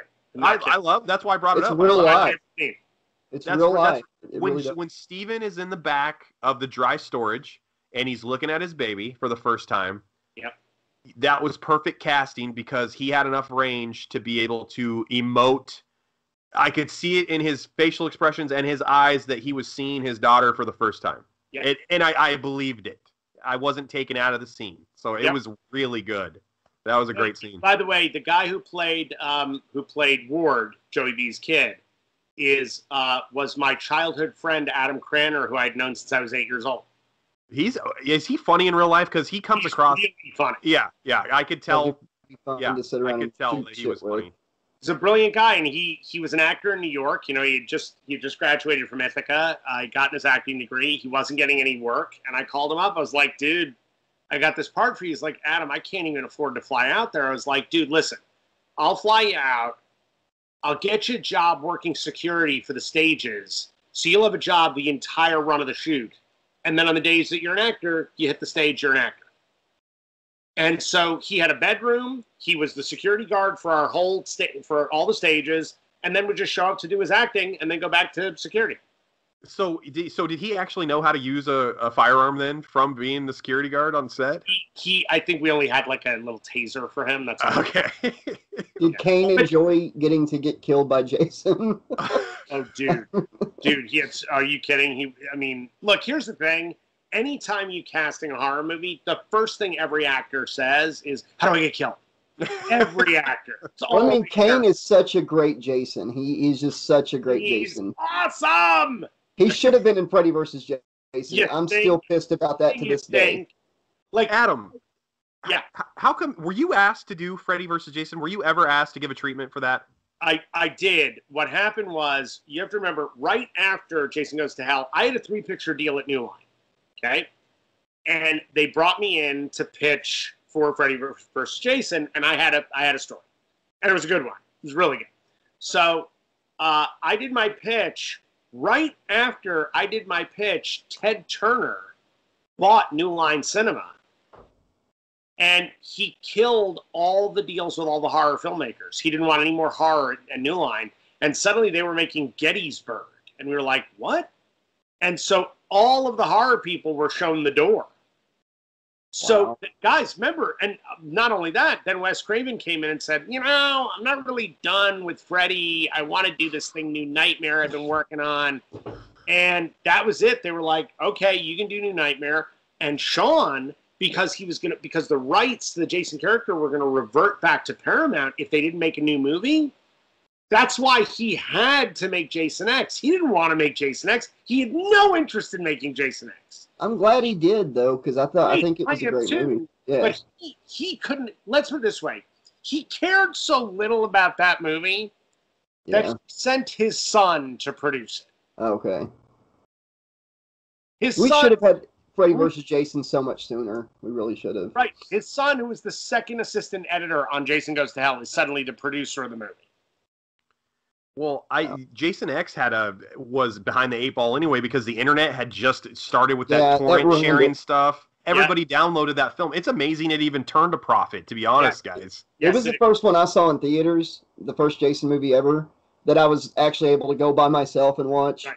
Uh, but uh, and I was like, how is there not more people here to see it? Jason's back, and then I found out later it had been put on the internet like a year before, and people had already seen it. You know, Yep. And uh, Yep. yeah, That was a- it, it, That it sucked. screwed that movie. Look, uh, you know, and guys, I mean, think about it. It took 10 years to go from Jason Goes to Hell to Freddy versus Jason. And look, here's the thing. Again, I think Freddy versus Jason has some great stuff in it. But I got to tell you, it's one of those movies that I go, this took 10 years, guys. I know, right? It's uh, uh and They- and Kane not being in it that pissed me off so bad, man. Well, but And- Ronnie, you, Ronnie, you had never seen a Friday the 13th movie. Ken I- Kirzinger is good and everything, but he pretty Eh, much, from what mm. I heard, from what Mm. I've heard, he pretty much said, "I'm trying to be nice here, okay?" He pretty much told them that he played Jason in Takes Manhattan, and all he did was one scene, getting hit by a car, you Yeah. know. And he said, "Oh, I was Jason in Takes Manhattan." You know, I feel like he stole that from Kane, and Kane is just too nice of a guy, you know, to hold a grudge. So Kane was pissed. Kane Uh, was he- not okay. he wanted he he was a big pr- proponent for Freddy versus Jason to get made. He They earned sent- his spot to fight they Freddy. they sent him they sent Kane the script. Kane Yeah. Kane Kane was working under the assumption, yeah, I'm gonna get why why on why on earth would New Line send me the freaking script because he could have leaked it if, if he didn't think he was going to be in the movie he could have been an asshole and just leaked it himself and blew the whistle on the whole thing If you read the novelization, and I think Alex will agree with this because you listened to my narration of it, it's written like the nuances and stuff that it says, like the breathing and stuff. It's written, Oh, it's written Kane like Hodder. it's written for Kane. Yeah. The novelization, it's Kane when you read it. it Yes. It's not. It's not Kirzinger. Uh, but yeah, that Guys, I like New I- Nightmare, but I hate how New Nightmare ruined that for us.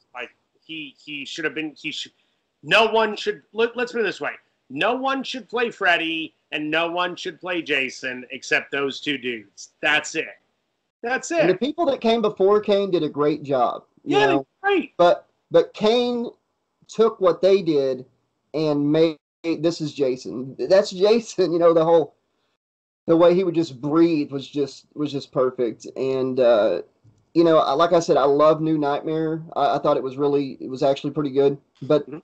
the one- one thing I had against it is it was one of the main reasons we didn't get Freddy versus Jason absolutely sooner. it's And, it's uh, the biggest reason why you didn't get it Yeah. Well, uh, the new nightmare for me, and I, I am in the minority here. I don't. I, it's not one of my top El, Elm Street movies. It's not. Okay, it's fine. It's meta. It's Weird whatever. guy, remember? Yeah. Okay. Here's the deal. Uh, F- Freddy's. I don't know if you guys have noticed. Freddy's wearing leather pants. Okay. Freddy's wearing leather pants. Freddy. That's what I like about it. Fre- Freddy's not Freddy, okay? And if you guys don't, it, Miko, little Miko uh, from Yeah. Pet Sematary, kind of hands Freddy his ass down in that boy, down in the the He you know the boiler room. he does And yeah, Freddy sub- is substantially less powerful as this entity, as this demon. I mean, he, totally. he gets his ass handed to him. sure It it it takes me out of it, and I, There was I'm a sorry. big thing taken out that was supposed to be in the movie that would have made it more interesting. The babysitter was supposed to be like a uh, being controlled by the Freddy demon thing, and she, She- was the one that was being sending puppeted the- by him.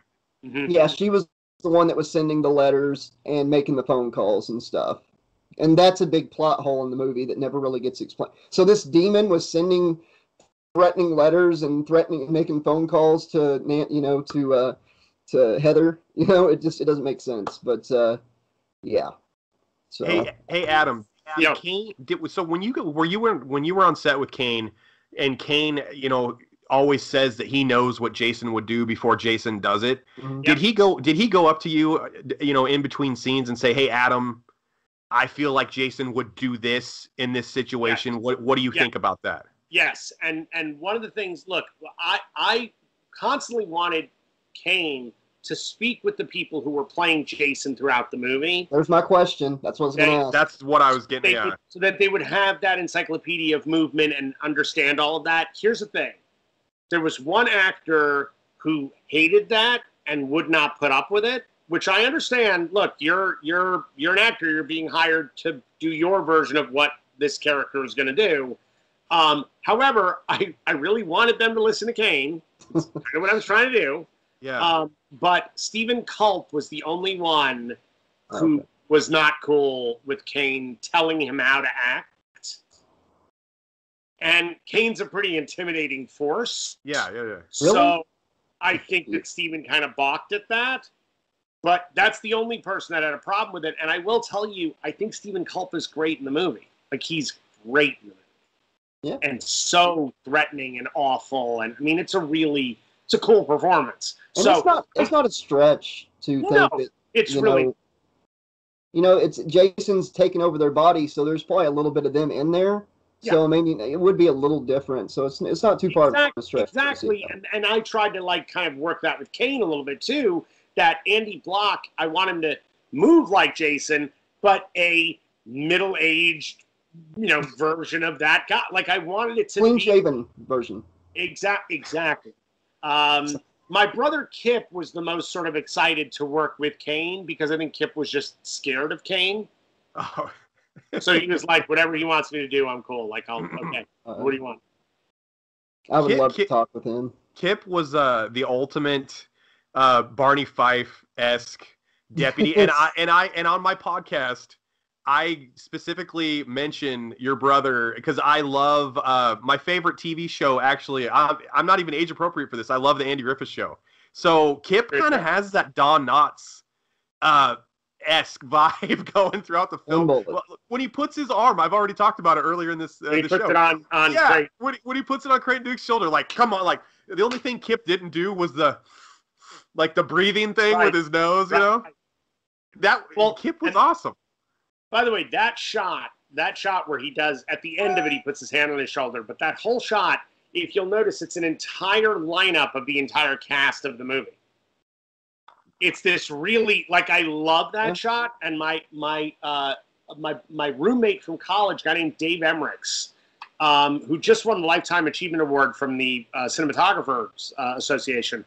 Um, he was the Steadicam operator on that shot, and it was amazing because I had told him exactly how I wanted everybody positioned, how I want, and I'm telling you, like to this day, he's like, it's a badass shot. He's like, it's like one of the first movies he worked on, but he's like, it's a badass shot. Well, I gotta say for and this isn't this isn't just like uh you know uh platitudes or kissing butt because you're our guest, but like for 22 years old, man, and the way you directed the movie, it, it it's amazing. It really is. It's it's a great film, Thank you. and I was uh, it will forever. I was 23 when I directed that. Oh, scene. wait, 23. I was 23. But still, still, man, you know that's one birthday. You know that that's that's awesome. I dare any 23 year old to go out and do something as creative as that. Um, It was know, pretty cool, for it. man. It was, you know, it was a hundred person crew and a huge cast and a stunt and a makeup effect every single day of the show. Um, it was, it was a lot. It was Did a lot. Steve was- Williams improv any of his lines, or was that all scripted? no, that's written. That's written. all written. Yeah. Okay. Yeah, yeah, yeah. He Josh, he made me think with his acting that you know he might have just went with it a couple times. So Yeah. It's just another testament to how great he is. The one line I will tell you when, uh, right after Jason gets blown up. Um, so in the script, he's supposed to be sitting on this hill watching this, right? That there's this mysterious guy who's seen all this. Yeah. And I walked over, I, like we shot it, and I went, "It's not right. Like it's not working yet." And I walked over to Steven. I said, "Steven, when you just when you're looking out over on the looking at this, can you just say, I don't think so?" And he was like, "Love that." I was like, "Cool," and that I don't think so. Is so good. Like I'm like, oh, oh, oh yeah, like he said it once. It was like cut moving on. I mean it was Oh, so wow. like and even dean lorey who wrote a ton of the dialogue like he wrote most of the dialogue in the movie dean lorey turns to me and goes dude that was badass. Like that's the line. I was like yes kind of works Yeah, that, that kind of makes the scene, you know, uh, that that sets the tone for what's gonna what's gonna happen uh, for sure. The only thing Steven Williams doesn't have going for him Yeah. is my ex father in law's name is Stephen Williams, and uh, Sorry, that kind of it. So kind of kind of a little bit. I, yeah, I feel you already. yeah. Did did, did Dean uh, write the the line the line mango size crap? Uh, yes. Okay. Yes. And I will tell you, here's what's funny. That dialogue was not in the original script. Dean brought me that dialogue the day we were shooting that scene because I had told him, I said, "Look, dude, if you want to riff, Dean's hilarious. It's like if you want to riff, you want to do something." He's like, I, I, "I'll come up with something." He handed me that page that day of just that monologue, and I almost pissed myself. Was laughing so hard. I was like, "Listen," I said, "I don't know if Sean Cunningham is ever going to let us keep this in the movie, but we're sure as shit going to shoot." It's great. It's great. Yeah, that's one of the lines though that like sticks out to me in the in that movie. Like, and he only had like I'm, I'm telling you, he comes in with the pizza. He says the the line about wanting to take a mango sized crap. He you know he talking about how he's a Yeah, maggot infested fuck. You maggoty blown up. Suck it. yeah, yeah, no, he, he- that's very good. He's He's great. fantastic. He's great. Well, and by the way, like when he comes in through the door, I literally, as he was walking, I, I, I directed him. I said, listen, I said, when they start to pat you down, I said, get the giggles. Like, let them tickle you. Like, that's fucking, I'm totally doing it. I was like, great. So, That's great acting because that's hard to fake. You know, it's hard to fake uh, getting you know the reaction to being tickled. So Yep. uh, that's some good acting there. I Hey. I want to jump forward in time a little bit now because uh, I want to talk about Secret Santa too. Because I I see this as being a cult classic in in Right. the pretty near future, uh, and you know I've spread it around a lot.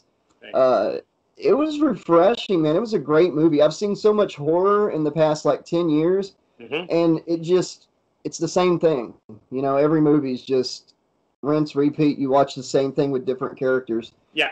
and uh, yeah we've seen the zombie trope and everything Sure. but i don't even consider it really a zombie flick you know what i mean i don't it's not a zombie flick Not- they're not dead. They're, nobody's, nobody's, they're not dead Yeah. until they're dead.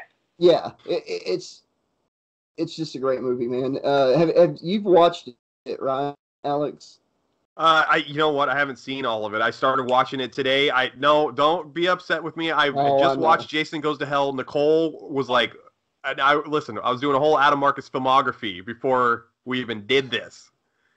Not that I needed to watch Jason Goes to Hell again for the thousandth, you know, time, but I had to. I had to Oh. fill myself in. By the I'm way, just- By oh, the go way, if you're going through the Adam Marcus filmography, uh, crazy thing, th- and this just happened two weeks ago. So my brother Kip and I, uh, right after I did Jason Goes to Hell, I got offered like a ton of horror movies. Right, everything had a part number. So Pumpkinhead two, Amityville '97, um, Leprechaun Back two, Da Hood. Um, Oh I mean, I got God. offered. I've been offered three Leprechaun films in my career. Um, I love the Leprechaun films. I- That would have been awesome. I totally respect them, but I've got to tell you, when when you would read these scripts, you'd be like, oh. Yeah, especially in space, man. It, It- it's just it's it's it's my cheese. It's my Totally. go-to bad cheese. Ab- horror. Absolutely. I just remember when, when the first Leprechaun movie came out, I was in Westwood seeing it at the Fox Theater. Uh, and in the middle of the movie, like the audience was just like not feeling it. It was a packed house. And people were like, what is this? And in the middle of the movie, I'm in the back row and I went, I want me money back. it got the best laugh of the whole night out of the Oh, whole God. fucking thing. So- Those movies have such a great actor in them. Oh, go ahead. thing I didn't want to be a filmmaker that every movie I made had a part number at the end of it. Yeah. Like I just didn't want to be that guy. So I started writing with my wife Deborah, who at that time wasn't my wife, and we we started selling scripts, which was great. But I hadn't got, I hadn't decided what I was going to do behind the camera for my second film. Well, my brother Kip brought me this screenplay based on a play he had written in New York that he had done at the Tribeca Film Center with De Niro and blah blah blah. So he brought me this this screenplay. The screenplay was a mess, but the two of us worked on it for a couple months together. And before you knew it, it was a movie. I was like, okay, this is a cool this is a cool movie, and it's not what anyone is expecting me to do, which was great. And so I made this movie that was originally called Snow Days, which was like became a festival hit. Like overnight was we were we were at Sundance, we were at AFI, we were at LAIFF, we were like all over the place, right? I'm all, literally all over the world with this movie, and the movie Snow Day, the Nickelodeon movie, came Yeah. out. Oh my god. So we had to change our title because everybody was getting our movies confused. And it's funny because I called a buddy of mine at Paramount. I said, dude, we had the title first. They're like, yeah, we're Paramount. I was like, but we had, we've already been at all the festivals. He goes, I know. You guys are awesome because every, you guys are getting great reviews and our movie's getting shitty reviews. And everybody thinks your reviews are our reviews. So keep going. I was oh, like, oh my god. so Wow. We changed the movie to Let It Snow, and the movie, I'm telling you, guys, my brother was one of the guys running Amazon streaming, right? Kip, it works for Amazon. He has for the last decade. Two weeks ago, I'm looking at the Secret Santa stats because they had sent us a bunch of paperwork because it's on Amazon Prime. And I look and I look and I'm like, wait a second. And it has a button, click to the director's other films, and Let It Snow is sitting there. I'm like, when the fuck did this happen? My brother runs the service. He didn't know it was there. what? Had no Really? idea. We were like, what the fuck? So they just put the movie up like two weeks ago. It's great. So my like my indie comedy that like won all these awards and got me all this work and everything else. I was like, uh, and it like truly came out of nowhere. Got, by the way, Stephen Colbert is in the movie. It's one of the first movies he ever did. Um, Missy Pyle, who uh, the minute you see her, you'll know who she is, guys. yeah. Um, the female alien in Galaxy Quest. That's Mhm. Missy. Um, but uh, Great uh. Henry Simmons, who's the lead of Shield, Oh yeah. the huge black guy, the good, you know, handsome, handsome black dude. This was his first movie. Miriam Shor, um, Bernadette Peters came out of a nine-year retirement from film to do the movie. So like, I had this like incredible cast in this tiny little indie, and it just hit streaming. So again, it's on Amazon Prime, but I, I'm, I'm saying only Uh, if people who want to see stuff I've done. I'll it's- watch it when we're done. Yeah, Uh, no, we're I'll Definitely it gonna out. check that out. Yeah. Yeah. Um, but and Kip Kip is the lead of it as well. He's the he's the lead of the movie. He's terrific. Um, but here's the thing with Secret Santa, um, you know, after I had done Texas Chainsaw, um, when Deb and I went to see the final cut of the movie at, at, at Lionsgate, and by the way, Lionsgate was fucking awesome to work with. Like I love those dudes. We're sitting in the theater and I'm watching this like weird neutered version of the script that we were hired to write. And suddenly there's a cell phone, a smartphone in the movie, and I'm like, what is this? Who put this in? Oh my goodness. And guys, I mean, the movie takes place in 1993. There's a smartphone in the movie. That's Uh-huh. ridiculous. Yeah, it's a it's supposed to be a direct sequel to the original Texas Chainsaw Massacre. That's idiot. I got a phone call from Tobe Hooper at my home. He called me to say to my wife and I, he's like, Adam, Deborah, I just finished reading your script. I can tell you it is the first true and the single best sequel ever made to my film. And he Oh, said, shit. I'm including the movie I wrote and directed. I was like, I turned to Deb, I said, You can put me in a box. Like, I'm done. Like, we're life goals, done. no, that's incredible. That is incredible It that he would say that. saw what they did to the movie. I saw the movie opening night. That was actually uh, a movie that I went to with my girlfriend. Uh, she's not a horror movie person, and she and she enjoyed it, but I she wouldn't have known that uh, she wouldn't have known that it wasn't supposed to be in the film. I That's can't crazy. believe they let that slip, but I mean, it, it, it doesn't take away from the movie, man. It's a Thank- great, Thank you. it's you. a great movie. But for And- me, my response to it was, you know, I'm tired of other people making the decisions of what's Yeah. in my movies and what's not in my movies. Like, I'm Mhm. tired of it. And I'm tired of people who aren't as, um, let's just say, committed to the reality of a project, committed to the logic of a movie. Like, I get the bean counters and I get, look, when you're working for a studio, they're the boss. And whatever they say, that's the way it goes. Suck it up. And I always have. But my response to it was, you know what, man? I, I want to do things our way. Like I want to, I want to make movies that I really believe in. That I know, even if someone hates it, I'll take the hate because it's my choices. I did this, And Secret Santa was the first film out of Skeleton Crew, out of our new company. And, I got to tell you, man, I mean, it's been, um, it's pretty cool. It's pretty cool the way people reacting to it, the, the love that it got in the festival world. Was insane. Um, the fact that Fright Fest in London picked it up as their very first title to release, that like one of the greatest horror film festivals on planet Earth went, This is our favorite. We want to put this as our first release in the UK. Um, that's a pretty spectacular thing to have happen. And it set us up to do a ton of shit. We're, we're doing four different movies this year and a TV series. Um, Um, and that's all from this tiny guys. I made Secret Santa for so little. You can't buy a new car for what I made that movie for. Holy really? crap. Yes. Wow.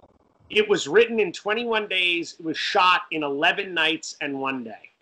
Oh, that cast looked like they had a ball, man. They had to have had a ball. You can And just see they're enjoying making the movie. Those are all my those are all my my actors. That's my troupe. Those are the people I've been training for years. So that's my family. So I wrote the film for those actors, including my wife, Deborah, who's who plays Shari, the, the, the head of the family, the meanest bitch ever put on screen.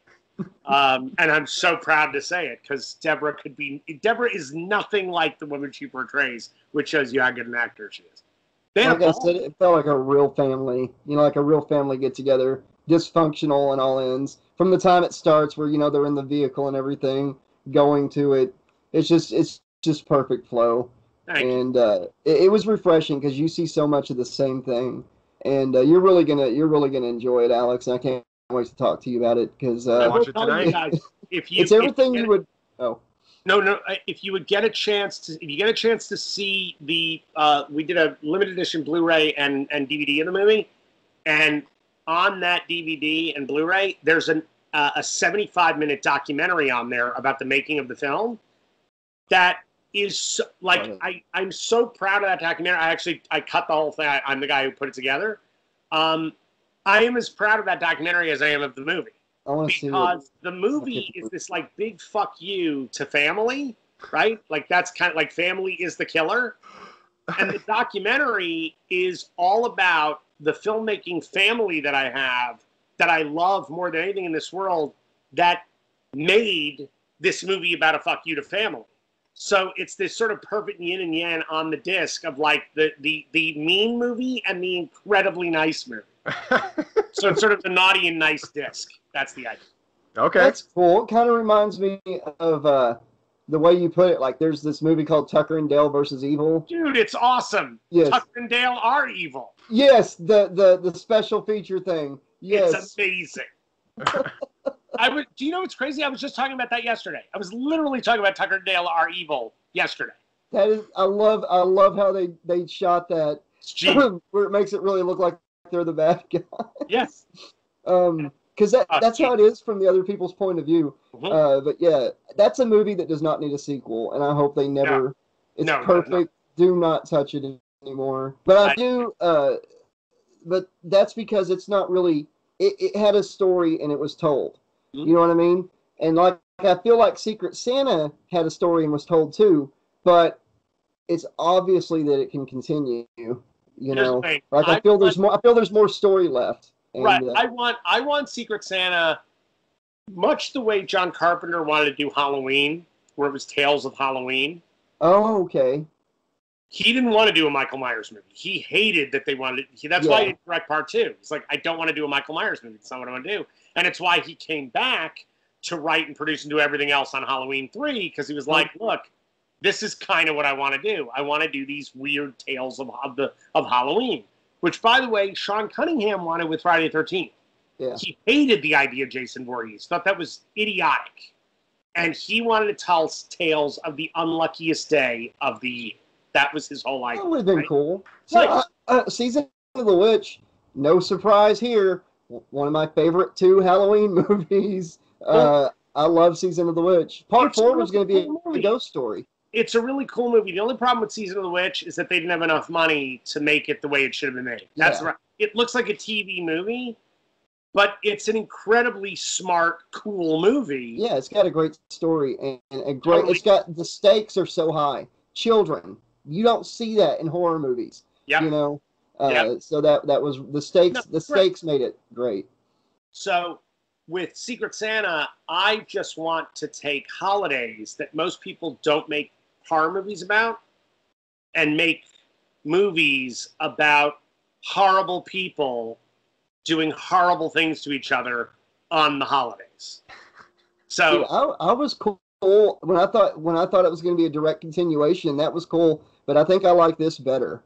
Uh, it's pretty bad. Dude, this Easter movie is so wrong. It's and it happens in a church. It is so wrong. yeah, oh my because god, it's wrong. The most wrong Easter thing I've ever seen. I cannot remember the name of the movie right now, but it was like an anthology about holidays, and it was like a little short, really short, short. I think it was called And- Holidays. Is that what it was called? Yeah, one of them is like a Jesus Christ Easter bunny. Yeah. It is so fucked What up. the fuck? exactly. Uh, yeah, you Adam. That's like a Yeah. nightmare full for children. Um, but no, man, I, I like the idea of the anthology. I really want to anthology do thing. Easter and I really want to do Thanksgiving. Because again, Oh. nobody nobody touches Thanksgiving, man. Nobody touches it. I know Oh, Eli it's all Halloween or Valentine's. You know, Right, exactly. It's always like, but and again, like I don't know, man. I, I just think I think there's I think people are missing it. I think they're missing the fun that can be had with some of these holidays. And again, they're always centered around family. So family has to be the evil. Well, and Thanksgiving has so many opportunities to do shit with because Thanksgiving generally, I don't know if it's just for me and my family, that's the one holiday you can't miss. You could miss Right. Christmas, you could Right. miss whatever. Thanksgiving is generally the one holiday, the whole whether you want to see Aunt Sue or Uncle Bob, you're fucking going. Do you know? Do you know that it? I, I was a criminology minor at NYU because because because I was, and um, uh, Thanksgiving has one of the highest spikes. It's one of the biggest murder days in, in the United States. It's a Holy huge shit. murder day, Are they all fans of the Detroit Lions and Dallas Cowboys? Is that dude. all the people that do the murders? The most often used weapon on Thanksgiving is the carving knife from the turkey. Get the hell out of here. For real? That's a true Wow. story. Don't tell me how a to cut it. Don't tell me how to cut it. I can see the movie poster in my head right now. You, you just have the carving knife and like one of the relatives on the table or something, and the that's the that's the poster right there. Yeah. Boom, done. Yeah. There was something I saw on your on your IMDb that I wanted to ask you about. I didn't get to read a lot about it. Uh, it was a Val Kilmer movie, Conspiracy. Uh, Uh, what is your connection to that? no, no, I just wrote and directed the fucking thing. Um, I was be I was joking. I was No, joking. here's I, the I had a question about Val Kilmer. here's the thing, okay? was he in shape when you filmed this? No, I'm joking. I'm Uh, teasing. Was he I'm teasing. difficult? Was he difficult? Val Kilmer. Okay, I'm sure you all heard like a lot of bad stories about Val Kilmer. Yep. Okay. Yes. Multiply them to a factor of ten. Oh my Okay, god. that, that- that's my question. Really? Single, he's the single worst human being I've ever known. Really? guys, I made a movie. Oh, movie. personally, no. Wait. I made a movie for Sean Cunningham. Okay, and I'm telling you, that is a walk through the fucking daisies compared to working with Val Kilmer. Oh my God. See, that's Val- why I was asking. Val Kilmer is let okay on day six of our movie. He assaulted me on set. He Oh my kicked God. nuts on set because he was drunk and high on painkillers, and he thought that I should look at his new pair of Crocs because they were the first Crocs in the state of New Mexico. Uh, Wow. So I was setting up a shot with my DP. I said, hang on a second, Val. As I'm setting up the shot, I suddenly feel a lightning pain from my balls through my gut, Oh and my it- God. kicking me in the nuts, landed me out on set. Had to Wow. bring a the whole thing.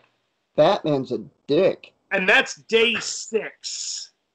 Oh my god. So you've got another like at least four weeks or three oh, weeks with this guy. I, it, it, I, I truly, I have a book that I've been working on called Val Kilmer Stole My Movie. Um, and it is all about the production of Conspiracy. It was, and I've got so much behind the scenes footage because my best friend in the world guy named John Esposito who wrote uh, uh, Stephen King's Graveyard Shift, and he's Oh, yeah. also he's won the Writers Guild Award a couple times for the for the Walking Dead. He's he's a genius. Anyway, John and I um, met while I was doing Jason Goes to Hell because he's a good friend of Bob Kurtzman's, right? John Esposito was my second unit director on Conspiracy, and he did all of the um, behind the scenes footage. I have like 10 hours of bad behavior on my set, including including a producer in a white t-shirt who's having a water balloon fight with the stunt team. and running around, you can see everything flopping around with a white t-shirt while Val Kilmer is fucking this Russian girl that he kept hiring and firing and hiring and firing in his tr in his trailer behind us and won't come out to shoot the movie for six hours. And my producer is having a wet T-shirt contest with the stunt crew. oh my god. Oh my god.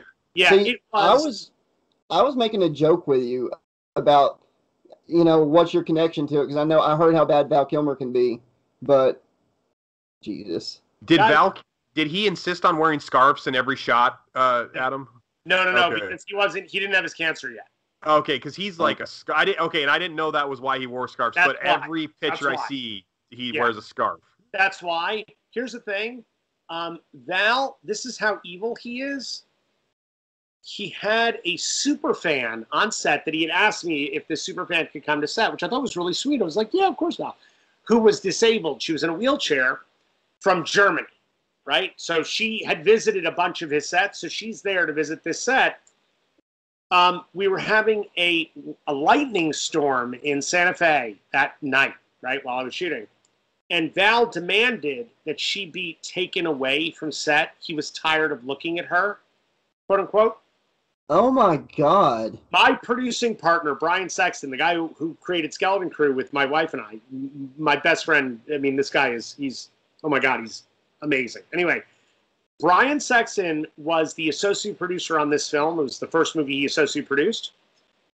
He had to get this woman off our set, right? She's in a wheelchair, guys, and he's running through a lightning storm with a metal wheelchair with this disabled Wow. woman in it to get her off the set.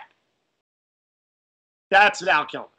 Man, I'm sorry I asked a question that had Oh, to make no, it no, down that no, road it's a- again, but dude it's a it's a good question and he it's hilarious because it's i survived it i lived but richard stanley and i have actually talked about this because you know what happened to him on on uh, island of dr moreau with this motherfucker.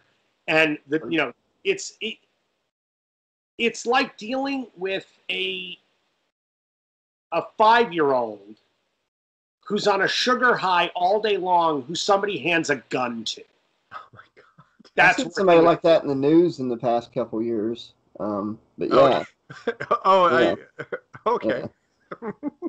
yeah. Uh, Um, hey, the Diet Coke button has been removed, guys. There's okay. been order restored to the Oval Office, so we're good. all right. yeah no I was kidding. trying to be subtle, but yeah, okay. Yeah. Yes. Yes. That, would but you that put him on the same level? Dude, I was. I'm. I was. I, I had a week before we shooting. I had to pick him up at his chiropractor, right? Oh. and we were going to go back to his house, right? We're going back to, to, to his house in Santa Fe, um, and I'm driving him from the chiropractor home, and he, you know, I'm going the speed limit, which I think was 65 at the time in in in Santa Fe. So I'm driving the speed limit, and he's like, Adam, come on, man, like pick it up. I'm like, now we got to shoot a movie next week. I'm not going to the Huskow because you want me to drive you faster to your house. Oh my god. He's like, Adam, you won't get picked up by the police. I'm like, why? And he goes, he literally does this. He goes, Oh my god. I'm your. Huckleberry. yep, yep. Jesus. Uh, did you like, look, Adam? Did you look at him and go, Val? You don't look like you used to in Batman Forever anymore. No, I should have. not going to recognize you. I should have taken his finger and widened the circle. like no, more like that, Val. he so yeah no Val Kilmer like is he in the new Top Gun that's being made? Was he? Did he? He ref- He okay, well, is. great, God great. help him. Wait, but I got to tell you, I think that it's a very kind of sad story, and I think it's, I think that, I think the concept is that Maverick has been taking care of Iceman for all these years because Iceman's sick. Okay, Um, I also know that Tom Cruise supposedly, this is the rumor, but the rumor is that Tom Cruise had a talk with Val. Okay. Like a talk, like he. Y'all heard his. uh Oh yeah, Yeah. Yeah. well you know Tom's not screwing around. Tom probably put up most of the money for that Mission Impossible. Yeah, I Well, don't- isn't that I'm his- not- Dude, yeah, it's he's the producer of the movie. I'm not condo- Josh. I'm not condoning the way he spoke to the people Yeah. that were on the set. Because listen, I, when I was in radio and I got yelled at by the station manager and everything, it sucks. Yeah. It makes you feel like shit. Okay, but there are times when you're doing something or you're trying to get a show going and people aren't doing what they're supposed to, and money is, you know, you're getting paid regardless. The guy who is footing the bill has a right to say something, He's but the maybe one that's just in a different liable. way. You know. Right. Yeah. That's the problem. It's that it's here's the thing. The problem is it's not even just money. It's the fact that you the, the situation has lives on the line. Yeah. That's the problem. It's like we're not dealing guys, we're not dealing with like it's not you're not getting your work done. It's you're endangering other people. Fuck that. And Yeah. while I think he was very emotional when it happened, I still gotta say, guys, I'm gonna tell you, that's not rare. That moment's not rare. If that shit happened on a set in LA, you wouldn't forget about a war. You wouldn't get a warning. You would literally be fired on the spot, sent home. The fact that he didn't fire those guys actually shows remarkable restraint because he had every right to say off the set, "Go, you're gone," and he didn't. You know, so it's look. I mean, just from SAG alone, just from the Screen Actors Guild alone, guys, the rules. We're doing a new film right now. Um, guys, it's hundreds of thousands of dollars just to test people and keep them safe Wow. during a shoot. It's hundred thousand. That's just for testing and safety, Uh, TV I- shows must be going crazy. dude. I have to fly. I have to fly to Dublin for two weeks to sit in a hotel before I can go to the country I'm shooting the movie in. Oh, to quarantine before you Yeah. even go. Okay, all right. Yeah, yeah, yeah, for sure. I mean, that's where we are right now. So look, I I get it. I mean, I get it. It's like, and if you're the producer of the movie, by the way, I mean, guys, Sean Cunningham used to yell at us like that on a daily basis. Yeah. Yeah. And and the problem with Sean Cunningham yelling at you like that is Sean Con- Cunningham is a little a little over five foot two. So you you you want to giggle every time he does it. So cute. So you're like poking yourself in the leg to try to not laugh at the Oh, fact man. that this tiny little man is like "Rah, rah, rah." it's like having it's like having Louie De Palma in Taxi yelling at you. You're like, Oh. it's, when's the laugh track coming in? I mean, it's that silly. Oh Did- my god. so when Sean would yell at you like on set or whatever, since you Yeah. were had been such good friends with Noel, was it weird for you to to- did you almost not take it seriously because you're like, oh my god, he yelled at me like this when we were 12, you know? For is, I actually, I got to tell you, by the time we got to shooting, and by the way, this is this is true. Look, I, I, I have a lot of problems with Sean, but I will say this: as a producer, he's still one of the finest producers I've ever worked with. From a standpoint of like having what I need on set when I needed it, and solving problems and helping me solve filmmaker problems, he was great. So all of that is is, is the truth. I, I, I will give the devil their due, and in this case, it really is the devil. But here's the thing he had done things and said things that were either so gross or so stupid that by the time he got to that place of like just yelling at me all the time, I kind of didn't give a shit. Yeah. And I was like, whatever, man, whatever. I mean, literally three days before the film ended, he he threatened to fire me, and I was like, go for it. The whole crew will leave. The entire team will walk out with me, and you're fucked. So go ahead, Sean. I heard one of the biggest fears in filmmaking is having your producers on set constantly. Like, But you know uh, what? But it but it shouldn't be, and that's th- this is th- again this is why I started the new company was because I really I, like my producer, my producing partner, Brian, is is my closest friend. Like he's a brother. And we're we're there to make the same movie. Like we're there to to to, to protect the film. Mhm. He will constantly try to make sure that everything financially is working correctly. That's fine. But when it comes to story, we've made all those decisions in the writing process. Mhm. So when I get to set, he he lets me direct. Like Yeah. he and by the way, he also has no interest in directing, which is awesome. Like it's rare. It's rare. Everybody else wants to direct. It's like, uh, stop directing, guys. Like I got I got I got this. He's not. He's not going to pull a wild, wild west on you and force you to No. use a giant spider, robotic spider. no, no. Honestly, Brian would just look at me and go, "Why would we be spending that money? What are you doing?" Um, so no, it's, it? no, I- it's Superman Returns. that's the thing. It's like, and by the way, again, Sean was a very good line producer. He knew how to do that stuff. It's just I, I, I feel like his ego is the worst thing about Sean. It's the scariest part of who he is. And here I was, a 23 year old kid, and I was orchestrating a real movie. And Sean was 40 when the first Friday 13th came out. Nobody gave a shit about Sean as a filmmaker before that. And I think that that bugged him in a big yeah. way. Speaking of the liability that like Tom Cruise was facing on the set of that, I was Yeah. curious. You've done these horror movies and lots of stunts and stuff. Have you ever had any real life injuries ha- happen on the set of any of your movies, even slight ones? You know, just little. Yeah, the only the the well on Jason Goes to Hell, um, couple things happened. One, Julie Michaels famously was running through the woods without protection on her feet. We had we had kind of made a path for her. We'd cut all this pathway out for her. But again, it's the woods. It's at night. Yeah. And so she did the run. We shot the run. And then uh, I said, look, Julie, we need another one for safety. I, I, there's a couple moments that I didn't get. She's like, no problem, boss. She starts walking away from me, and I see that there's blood footprints behind her. And I was like, Julie, I don't know. what'd you do? She's like, what are you talking about? I said, your feet. She's like, oh, I'm fine, honey. I'm fine. Good to go. I'm like, no, no, no, no, stop. And I walked her over. I said, show me your feet. She's like, she's like, no, honey, I'm, I'm okay. I said, no, you're not. And she wouldn't go. And I literally scooped her up, picked her up in my arms, and walked her off set to the medic. And they, her feet were torn open Oh man. but she was a stunt woman, so she was like, no big deal. Um, what's amazing, and it's in it's in the documentary. This whole thing is in the documentary. and There's a long interview with Julie.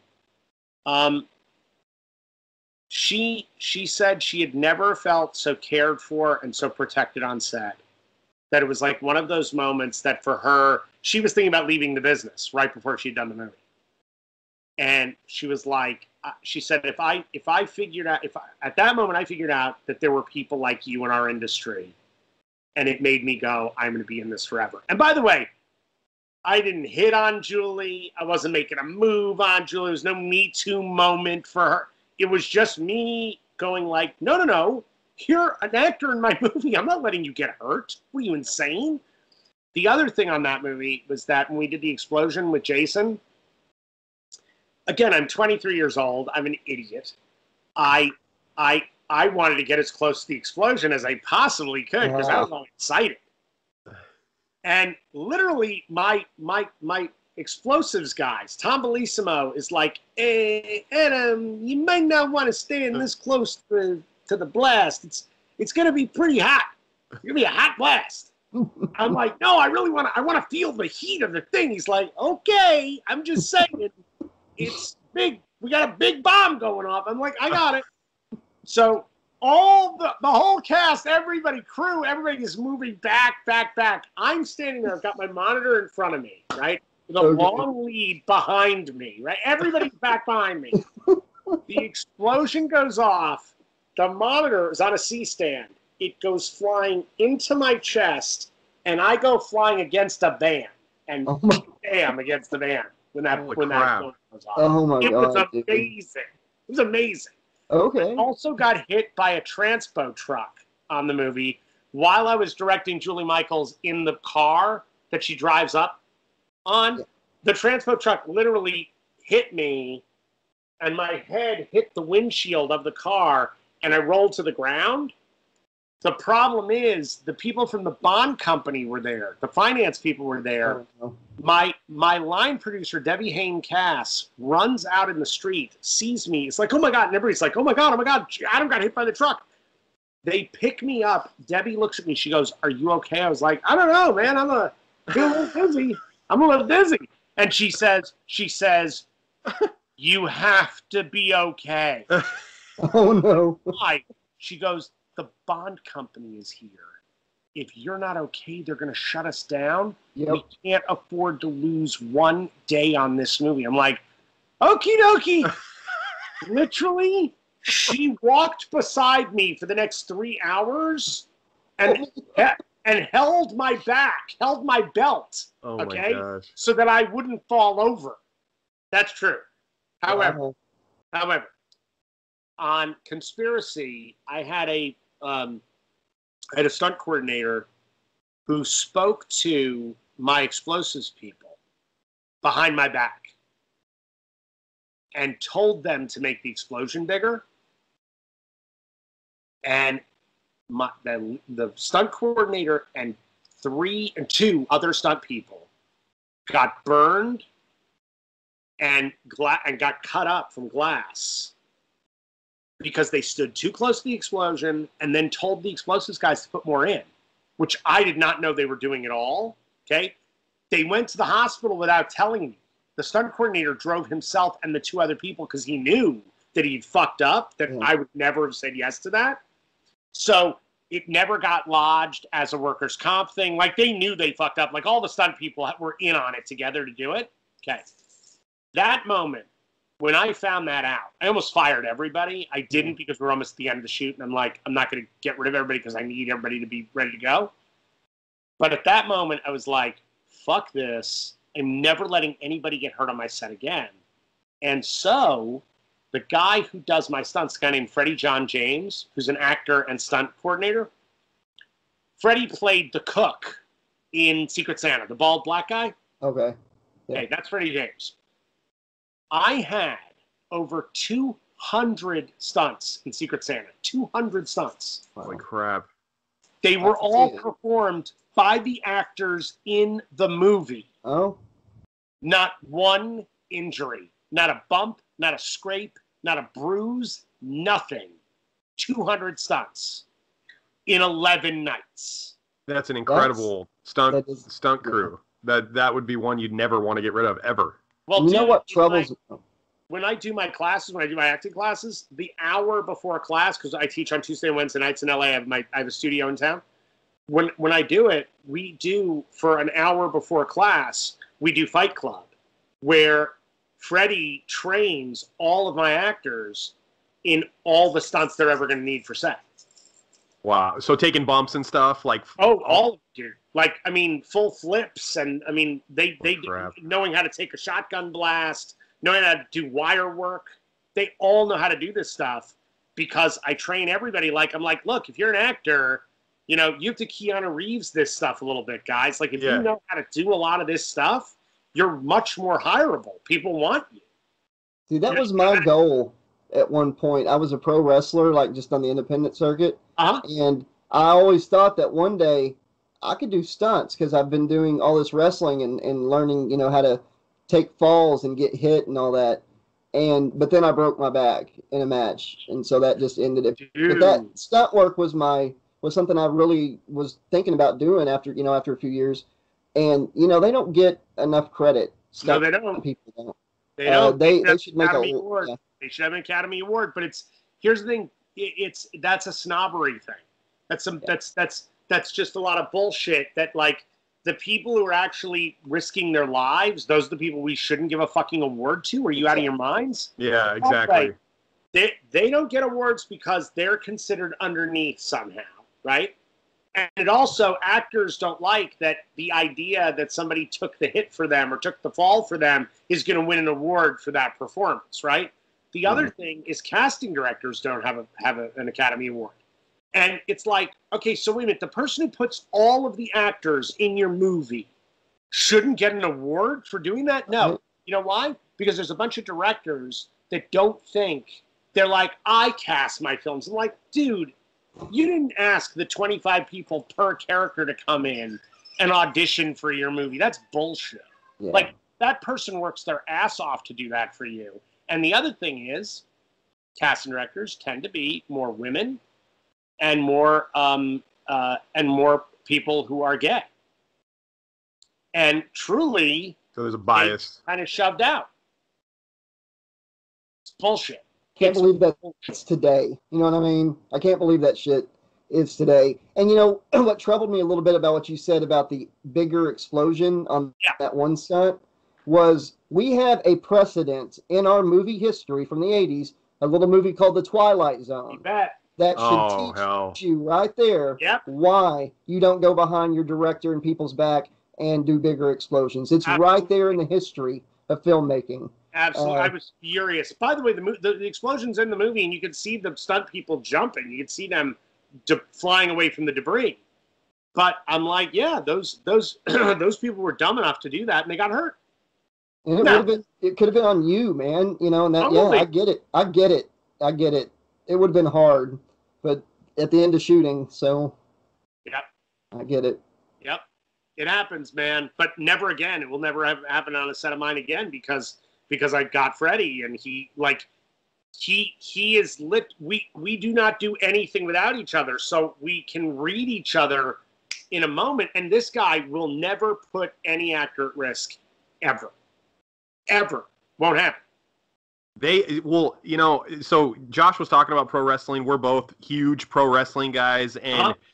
one of the greatest pro wrestlers, in my opinion, uh, technically, was Bret the Hitman Hart. He's a b- big time wrestler. He's world famous for never having injured one person that he worked with in the ring for That's- his entire career. There you Ever. go. There you go. and that's that's and a lot of people don't recognize that as greatness, but it is because Oh, it it's, is great. it's a it's a dance. You're Yeah, you're dancing with your partner. Yep. You're protecting them. Yeah, you know, you're that's your trusting them. You're giving them your body. It's the same thing with stunts. I'm sure you're you, these Totally. people that you're choreographing their stunts. They're trusting you to not put them in harm's way, or if they yeah right. I mean I don't know. I heard the first rule of stunt work was like wrestling, where you go in and they're like, your whole life you've been taught not to fall down, but today we're going to teach you how to fall down. Yeah. the, look, the other part of it, it's it's also the fact, the idea, and I know this does work in wrestling, that the guy getting the hit is the one who controls the hit, Y- not the person giving it, the person getting it. They're Selling. selling it. Yeah, they're selling Yeah. the move Yeah. of the of the hit. and yeah, even for sure. like even let's say like someone grabs someone in the back of their, their hair, right? You're actually the one holding the person's hand that's lifting you up. Yeah. You know, it's not yeah. nobody's really lifting you. You're you're lifting yourself through that person's. I mean, it's Is it? physics and it's using leverage. hmm Well, that, you know that's another reason that Kane Hodder deserves uh, Yes. more recognition than he does because being a stunt guy his entire career and also probably choreograph. Didn't he choreograph? Did you choreograph the fight with Steven at the end of uh, Jason Goes Hell, or did Kane? Kane, Kane and I did it together. We- Okay, that's what I thought. We, we did that whole dance together. That's what I thought. Uh, he's so he brings that to the table. He Oh, yeah. brings all these other things. This this certain gravitas to his performance. So. Uh, this is totally off topic, but uh, now I'm back to being mad why he wasn't in Freddy vs. Jason. Totally get it. now I'm pissed, and I'm I pissed would that love you to weren't talk to him one day. For It real. would, be, it would be nice to get to to talk to him about some of his work. Because early on in his life, uh, you everybody sees the scars. You know, uh, he lived through a very very brutal stunt gone wrong. So if there's somebody that raised knows, if there's someone I'm going to trust with stunts, it's a guy that actually knows what going what what a stunt gone Yeah. wrong can do. You know, way, he kept he kept trying to get me to set him on fire in the movie, and I was like, Kane, no, look at what happened to you. He goes, he goes, Adam, it can't get worse. Oh God! You're like no Kane, but it really can. By the way, by the way, this is this is my favorite Kane Hodder story. Um, we're on the last day of shooting, and my cinematographer Bill Dill had his son Elliot on set. Now Elliot, he's first off, Bill Bill's a really tall dude, right? and Bill's wife at the time, Edna, was way taller than him. She was well over six feet tall, right? She was a model. She was gorgeous. Oh wow. So the two of them, really big people. Their son Elliot, when he was three years old, you'd swear he was six. Like he looked like a, you know, like a little boy, right? But he was actually a toddler. So he comes to set on the last day we're shooting, and Kane is in the full regalia because we had just dragged him to hell, right? We'd done the last thing. And um, so Kane is on set, uh, and Elliot, like, not scared at all. There's Jason. He's got the machete, the whole bit, bloody, everything else. Elliot, nothing. Nothing's upsetting to him, right? Elliot's walking around the back of the stage, and we were wrapping out. We were going to have this wrap party. And they were pulling the stuff off Kane. They're pulling the full suit off of him. And Elliot saw Kane, but his Oh. back, everything was exposed. And that scared Elliot. Suddenly, Elliot oh. was really frightened, right, of all this burn scarring tissue, right? I can see that. So Kane, so Kane sees Elliot react, and he says, he says, "Hey, hey, Elliot, come here, come here for a second, come here, it's okay." And Elliot walks over, really timid, and Kane puts out his arm. He goes, "Go ahead, touch it. It's okay. I'm gonna touch it." And so Elliot touches his arm, all this burn stuff, right? Touches it, and he says, "See, it's it's just like you. It just looks a little different, but it's, it's just like you, right?" The next thing you know, Kane's in a t-shirt, throws a t-shirt on, picks Elliot up, puts him on his shoulders, walks him around the wrap party for two hours. oh, This kid on his back, the whole time. that is awesome. And That like is awesome. kid was completely unafraid, like loves Kane, totally.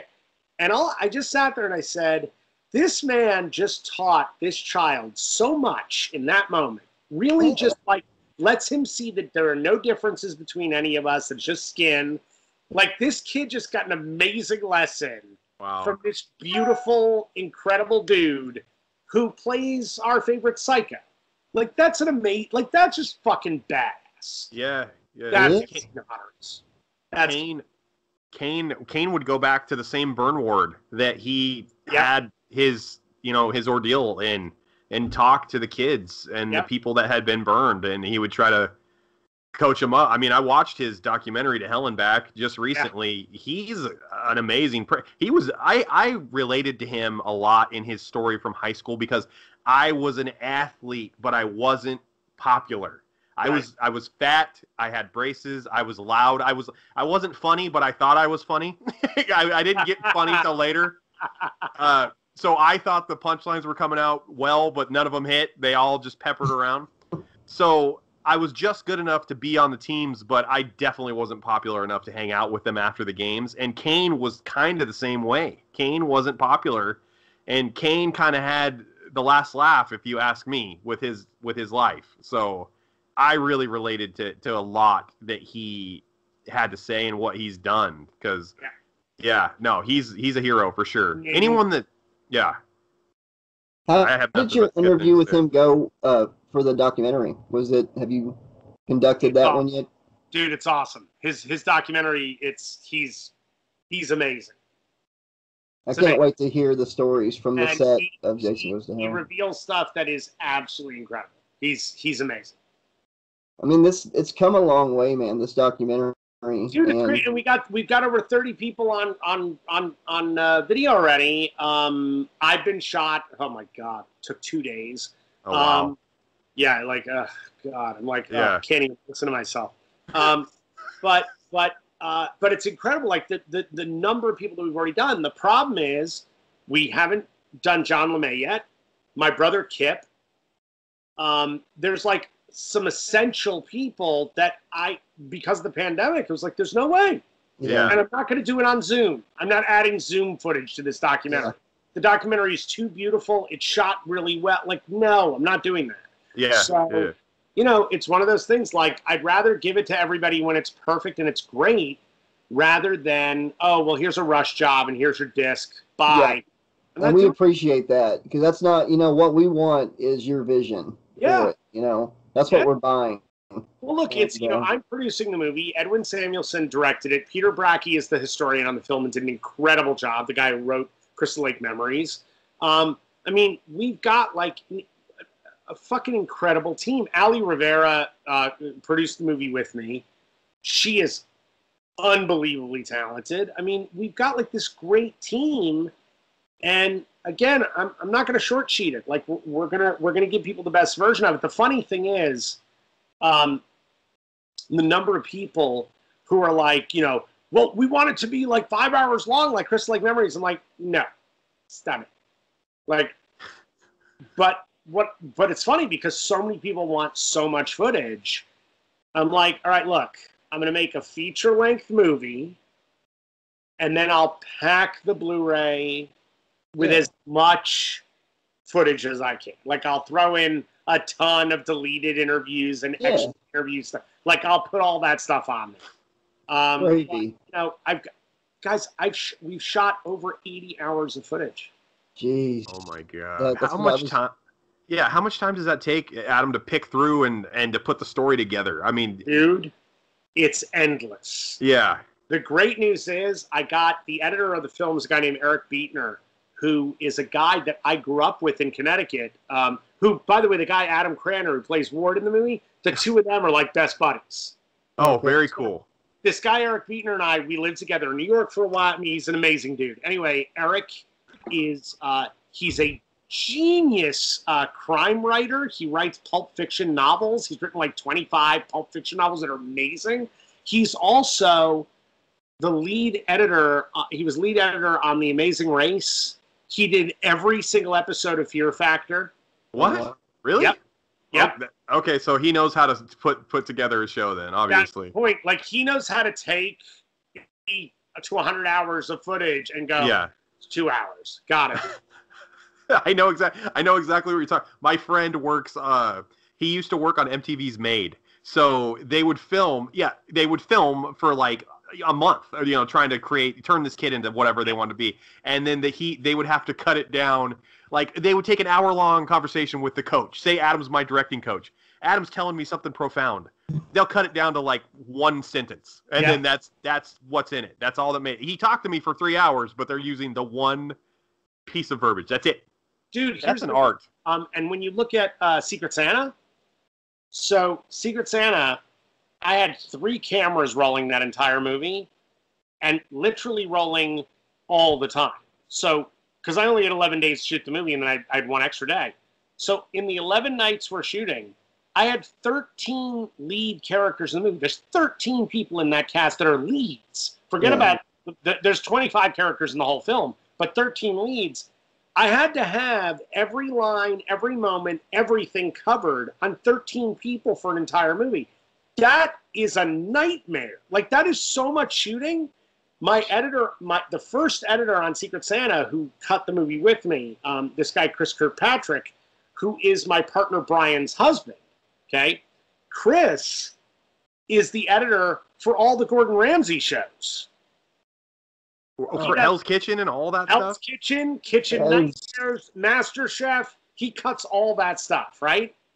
So, Holy shit! and this guy, he got my footage, and my partner called me. He's like, "I was like, how's it going?" He goes, "It's not great." I was like, "Why?" He says, "He says Chris is actually sobbing amount of footage you cut." I was It's like, too much. I was like, wait a second. This motherfucker cuts Hell's Kitchen. There's 42 cameras in Hell's Kitchen. Like, exactly. And this is making him break down. oh Oh, my no. god! That's how much footage we shot. Can't wait! Can't wait! It's tough. It's tough. It's good Man, stuff.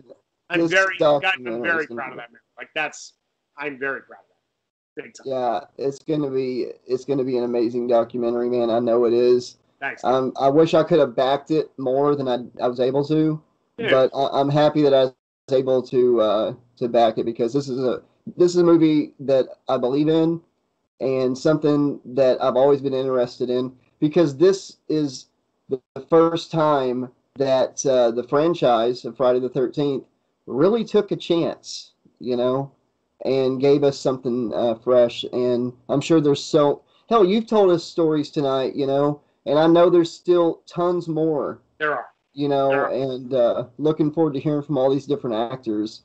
Yeah. Um, yeah, definitely. Uh, is there anything, any projects other than that going on right now that you can discuss? Or Uh, we're doing we're doing a new film called Dread that I uh, that I wrote with my with my wife and my partner Deborah that I'm directing.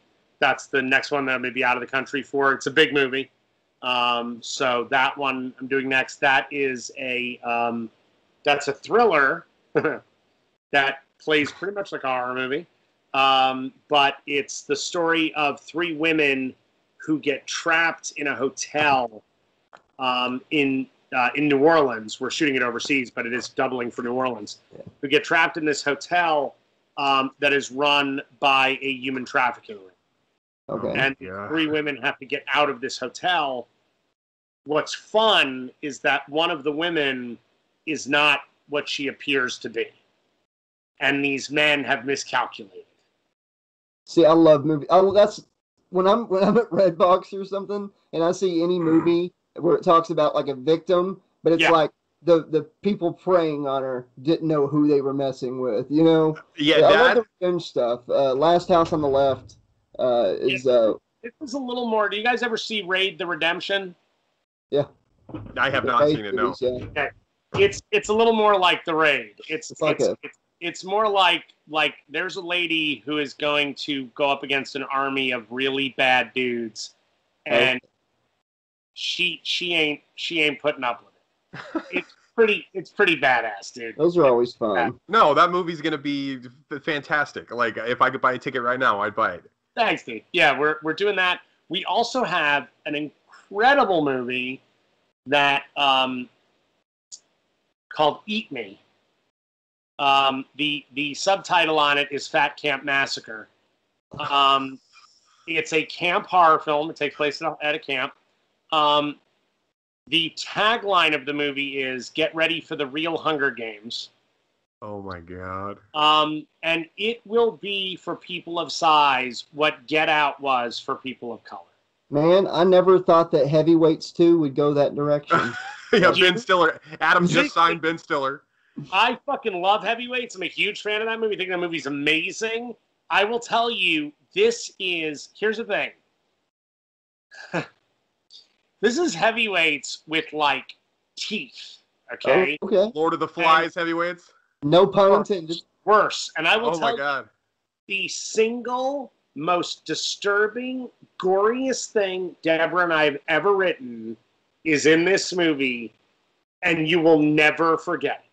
I mean, truly never forget. Holy shit. it's we finished writing by the way we finished writing the sequence every person who signs on to this movie signs on because of this sequence they get to that point they're like oh my god like it's guys you remember the scene in kingsman in the church when he shoots everybody when he when they when they're all under the control of the chips on their on their phones Oh yeah. and there's that amazing sequence to to Freebird. Okay, that was the Fisher Price version of the scene that we've got in this movie. It's in it's epic, epic. You're Adam. You're speaking to me because I I recently have lost 119 pounds. Like no joke. Like uh, I've worked out like like yeah. I've worked out every day of the the lockdown for like 400 days straight. Good for so you. dude. yeah, thank you, man. I I was gonna say though, like I never got to go to fat camp. We couldn't afford it, so I can't wait to go to fat camp with with your And stories. here's, here's what's great about this movie and what why I'm so proud of it. Th- What's awesome about this film is that um, the people involved with the movie. So there's this woman named Lindsay Hollister. If you look her up, you'll see her instantly. Lindsay Hollister. If you guys ever saw the uh, Get Smart movie with Steve Carell, Oh yeah, definitely. Okay. There's that great scene where Steve Carell has to do the tango with that very large woman. Okay, Yeah, yeah. that's Lindsay Hollister. She wrote the script with Deborah and I. Oh, fantastic. So she knows she okay. Yeah. Yep. I know what you're And- saying. Here's the thing: two of the women that are that are producing the film are also of size, right? So we've got we've got uh, a company called Six with Heels, is the one that brought us the project that Deb and I got involved. We started writing the script with Lindsay, and this whole thing became a collaboration between our two companies. What's awesome about the movie is it's not about it's not about people getting thin. It's kind of about whoever the fuck you are, it's totally okay to be exactly who the fuck you are. And one of the taglines of the movie, one of the one of the things that's said most often in the movie is never trust a skinny bitch.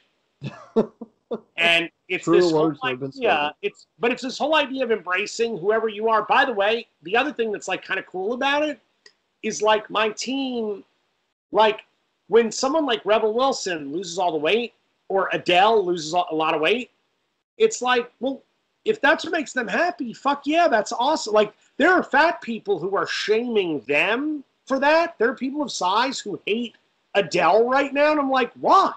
Yeah. Like she's on her journey, you're on your journey. There's nothing wrong with you, and there's nothing wrong with her, man. As long as she's healthy, cool. Mhm. Yeah. But it's about whoever you are, embrace what the fuck you are. Don't let anybody like weight is one of the last places that people can bully each other on. And guys, I'm telling you, if you do a search for images on Adam Marcus, you will see a person that looks like they ate Adam Marcus. In my early 30s, man, I was big, like big, big. And I wasn't happy. That, by the way, that wasn't about somebody saying some shit to me. I just wasn't happy. hmm So I went, I don't want to do this anymore. Like, I don't want to live like this. So you make a change. But there are people who are larger who are like, fuck yeah, I'm larger and I feel great and I'm good. I'm okay. Don't Yeah. don't mind me.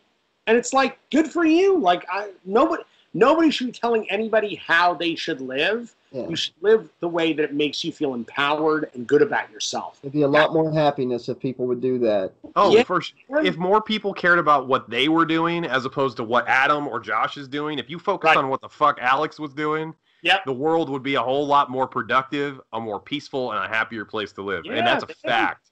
Yeah.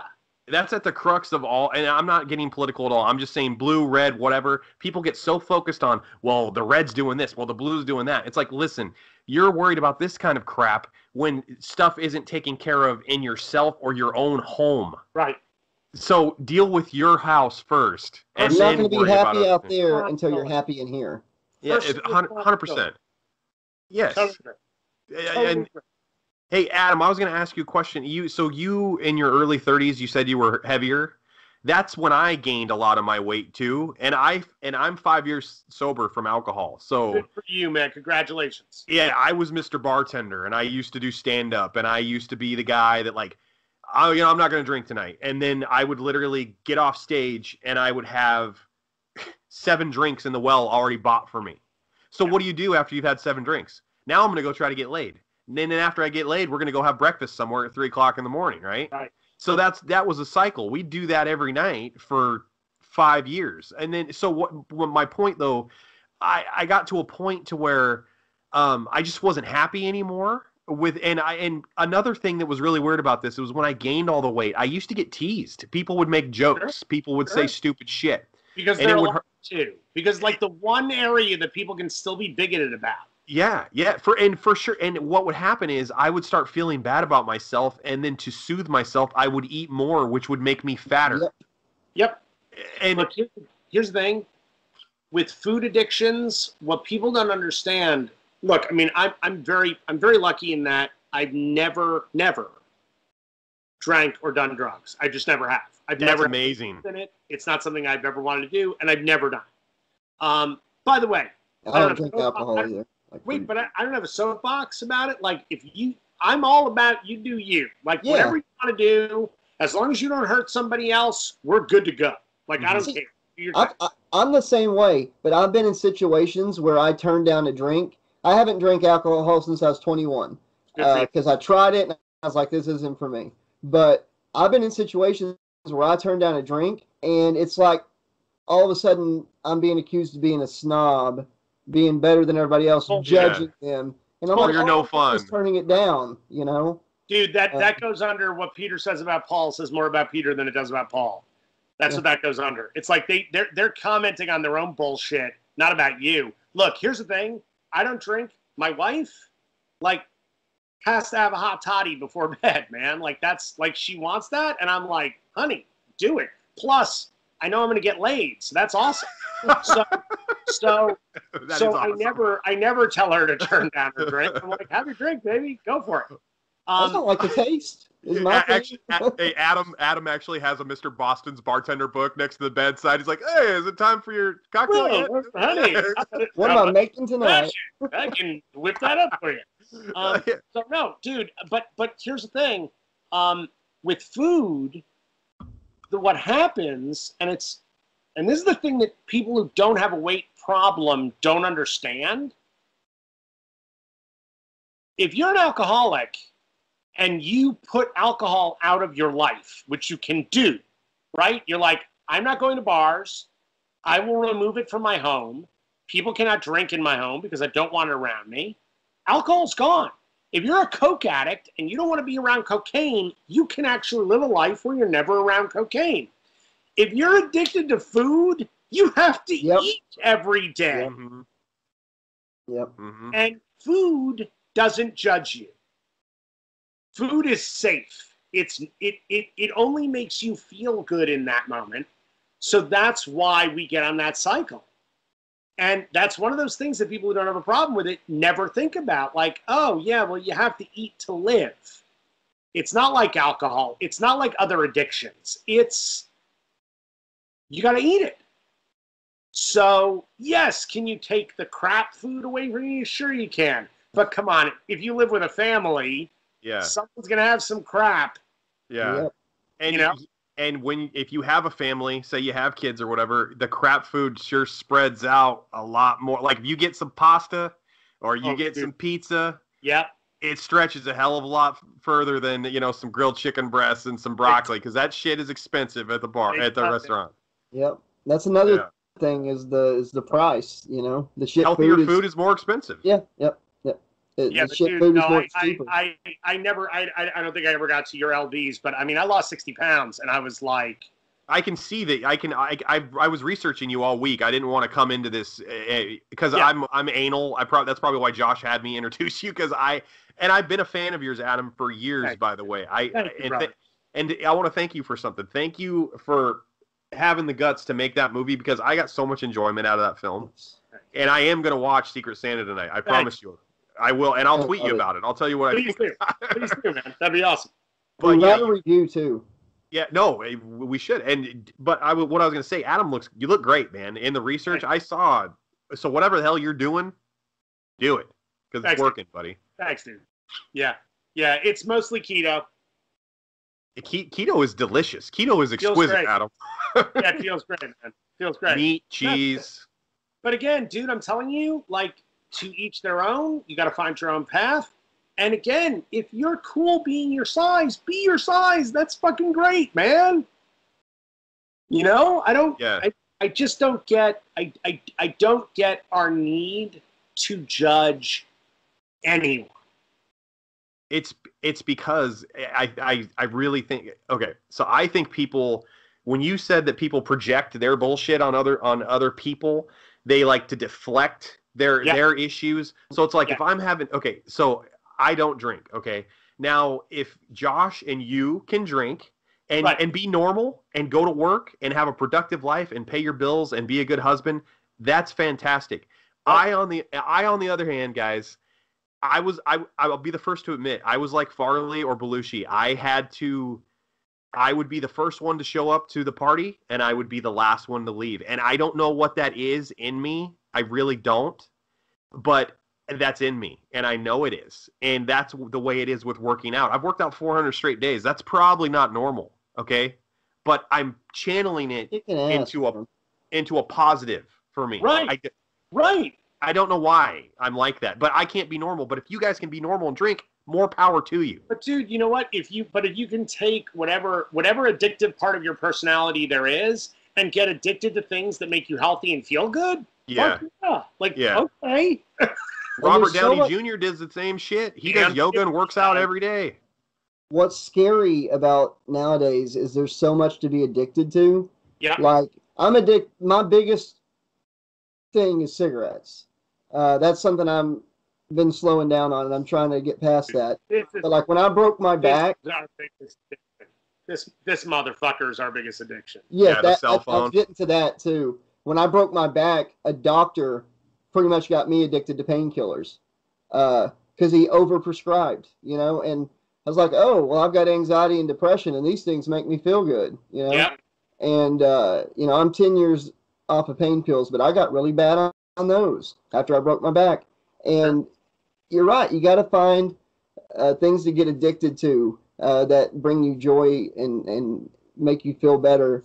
Uh, the channel I do, that's an addiction of mine, but it's so it, it makes me feel so good uh, to do it, and it, it's happiness. Uh, Alex, I think you're kind of addicted to your goal of working out and everything, and you've kicked ass. You know, like he, Adam, no joke, this guy every day for the past what 400 days is It's almost there's a tweet- 400 days, yeah. There's a tweet up with him working out, running uh, seriously, and Oh. uh, It's awesome. You can You can see, brother. dude. You can see every picture from when I was 358 to Wow. being 239, and and I've had I've had That's people. amazing.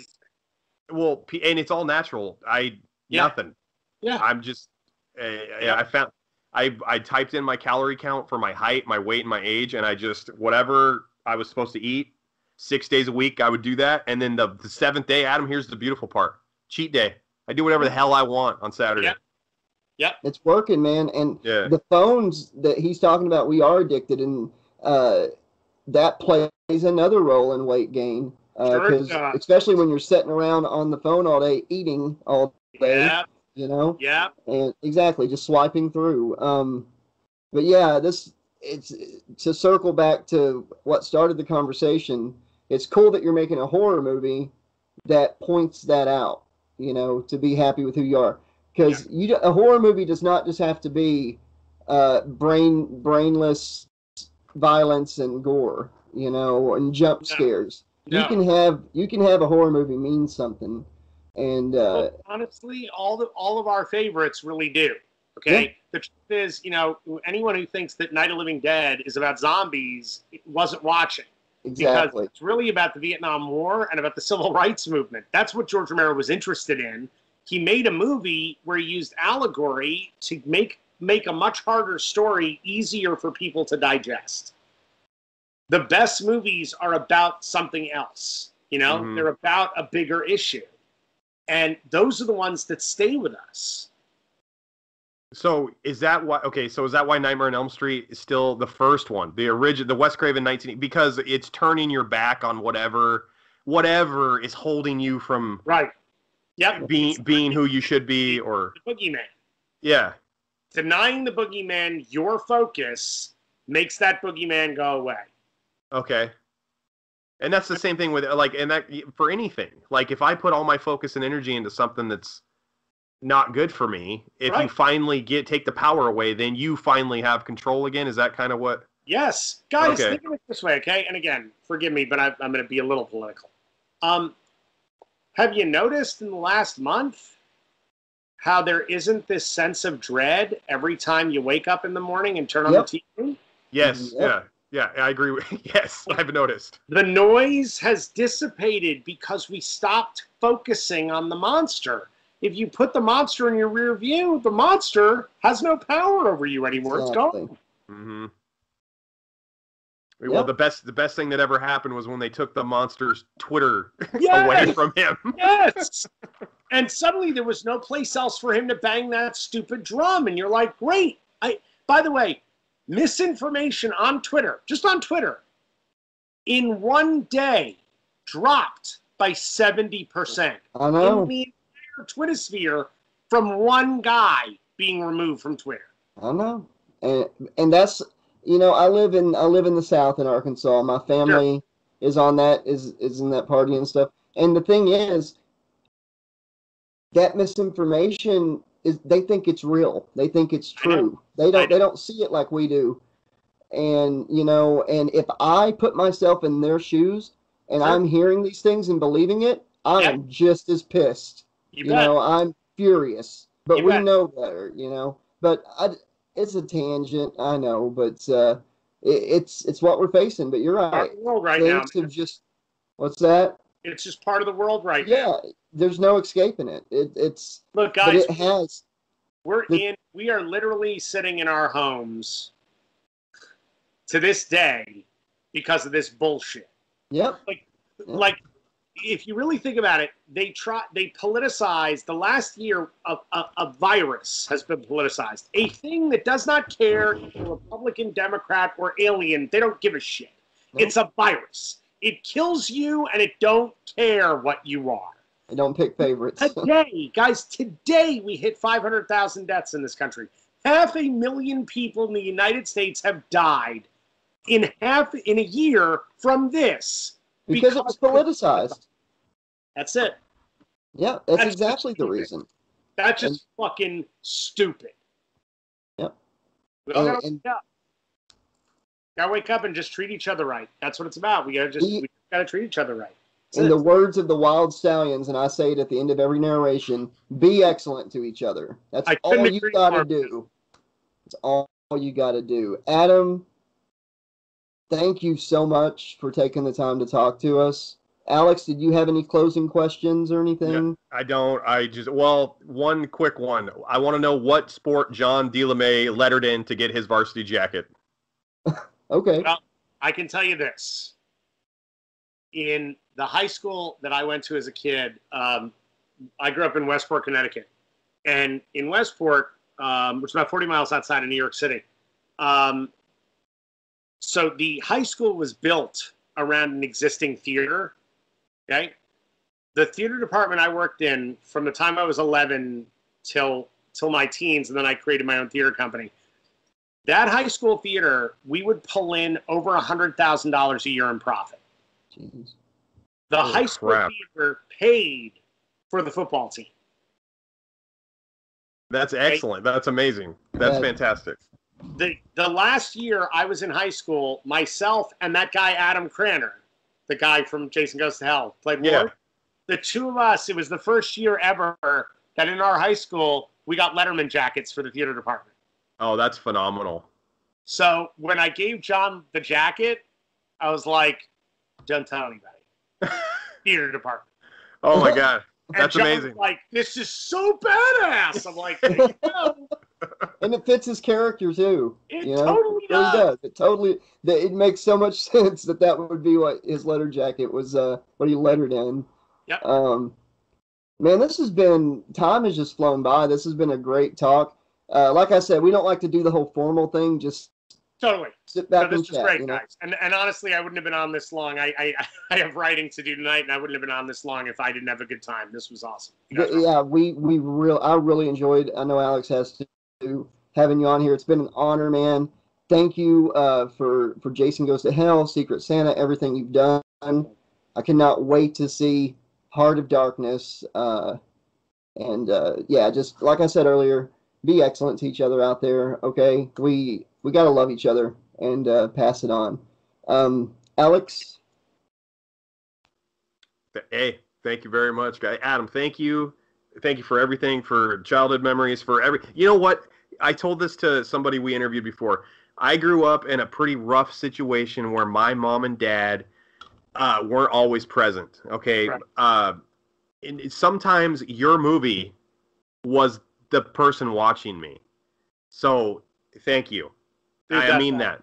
That's beautiful, So- man. It means a lot to me. That's Yeah. amazing. So these horror you. movies it's something I've I stated too. Uh, I was bullied uh, in grade school in middle school, and hor- going to rent horror movies on the weekend and just sitting home watching them. Uh, uh, that was my it was like my escape, you know. And I did I wasn't constantly uh, feeling that sadness and stuff. And you know, Jason goes to hell. Uh, we I told you we played on the playground. You know, me and me and the friends I had. So it, it was a big part of that too, you know. So thank you for that. I'll Yep. I'll tell you guys a story, um, and I've never told this on, in an interview situation ever. This is a personal story, but um, I was at my high school reunion a few years ago, and uh, so I'm you know mingling with everybody, and and uh, out of the people that I graduated with, well, I again I, I came from a beautiful town that was you know. Uh, Every, it was very affluent. Everybody was very rich except us. We had nothing. Um, but uh, so I'm, I'm mingling with all these really wonderful people, and, and I'm sort of one of the only media people uh, of my class. And so everybody's kind of excited about that and talking about films they've seen of mine and whatnot, and that's all lovely. And this guy, this guy Peter, who um, who I haven't seen in decades, walks up to me, and he's like, "Hey, Adam," and I, I turn, I'm like, "Oh, hey, Peter, how the hell are you, man? What's what's going on?" And he says, um, he says, "You know, you're you're a big part of the reason I came came to this reunion tonight." And he said it in a way that I was like, "Uh oh." Did I do something to this dude? Like, did Yeah. this, is this going to go bad? Right? I'm like, oh no. And and I said, well, why why is that, Peter? He said, well, when I first got to Westport, when he did, I'm speaking as Peter. So when I when I first got to Westport, uh, I was in sixth grade, and um, it was our last year of elementary school before we went to junior high. Said, and you know, Westport's pretty clicky. And I was like, yeah, yes, it's very clicky. He goes, well, like for the first two and a half months, um, I ate lunch alone every day. I did not have one friend. Nobody would sit with me. Nobody spoke to me. He says, it wasn't even that I was like bullied. I was just invisible. I said, okay. He said, that was until the end of October. You walked up to my table and asked if you could sit opposite me. And I suddenly was like, oh, yeah, that did happen. He's like, yeah. He said, and then the next day, you got two other people to come and sit with us. That's And then a cool. couple days later, my whole table was full. He said, and I had friends from that day on. Like that was when I made friends. I was like, awesome. Oh man, that's that's really cool. He says, yeah. He says, and then there was that guy Bobby Meyer who, uh, you know, was picking on me, and I said, yeah, I, I remember that guy. He was a real asshole. He says, yeah. Well, I, re- I remember when you beat the shit out of him for me, and I was like, right, I did do that. He's like, he's like, yeah, you did it for a lot of people. And the rest of the reunion, he kept bringing other guys over who were like, oh, dude, you kicked John O'Solinger's ass because he was bullying me. And I suddenly remembered, like, oh, fuck, man, that's right. Like, I spent years, because I was really bullied when I was really little.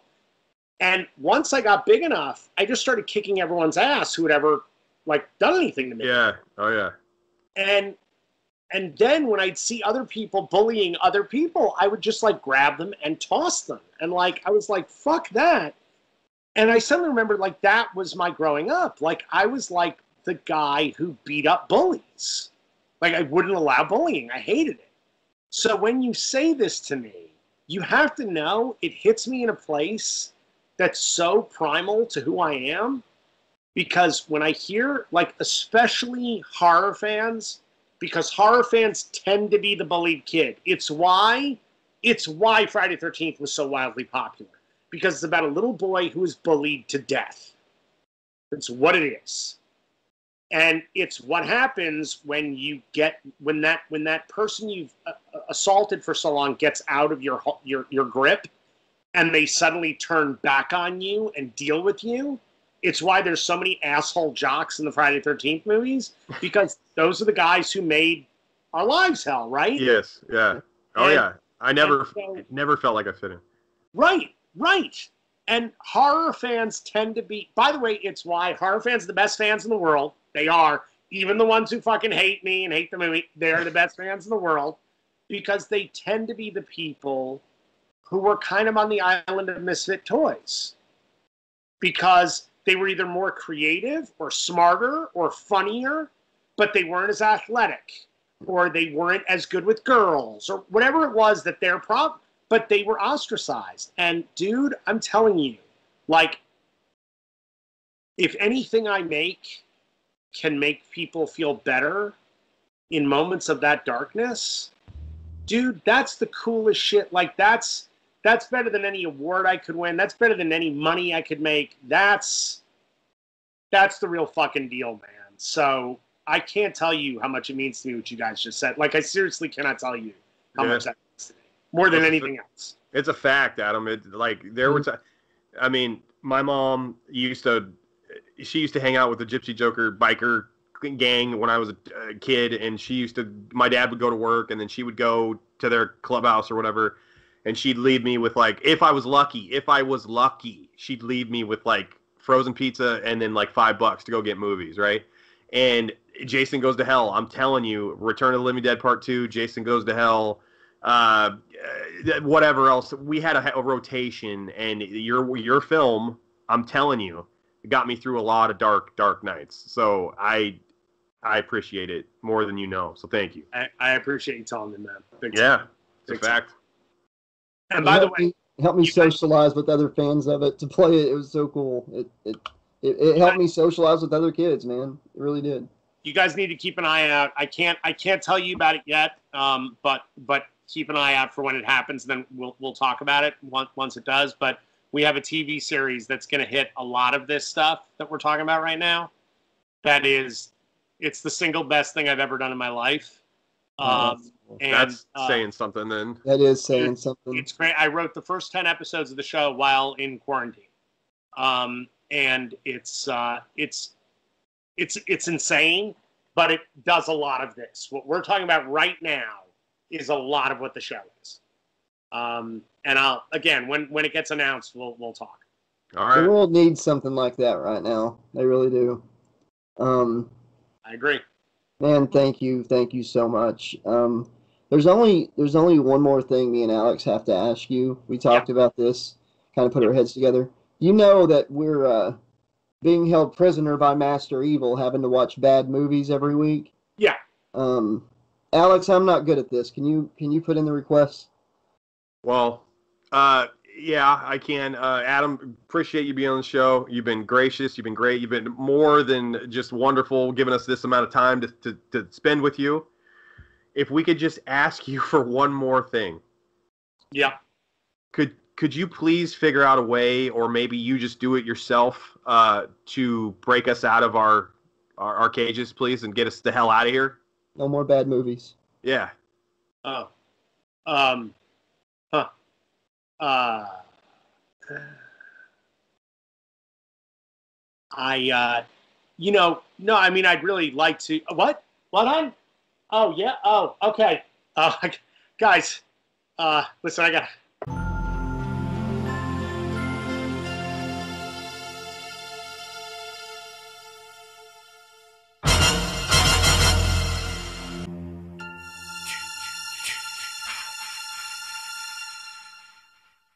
I think Adam Marcus has been compromised. Yeah, he went. Com- he, he someone got to him, uh, and he went completely, w- went rogue on us completely. He's not. Uh, he's not helping us. You've had eyes on the rodeo clown the past few days. He's not the one that did it, is he?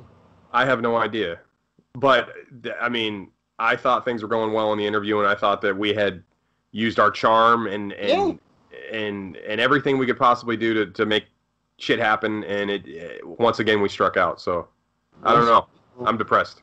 He's probably Master Evil's probably watching right now, laughing. We tried it. We had to try. Hey, at least this time we did an interview and didn't get kidnapped. And well, it would have been nice to get taken out of here, I guess. Well, hold on one second. We, you're excited that we didn't get kidnapped uh, after an interview, but we're currently still kidnapped. So you, was- how, we're gonna get kidnapped from our kidnapping? Yeah, and just end up somewhere worse, you know, Worse.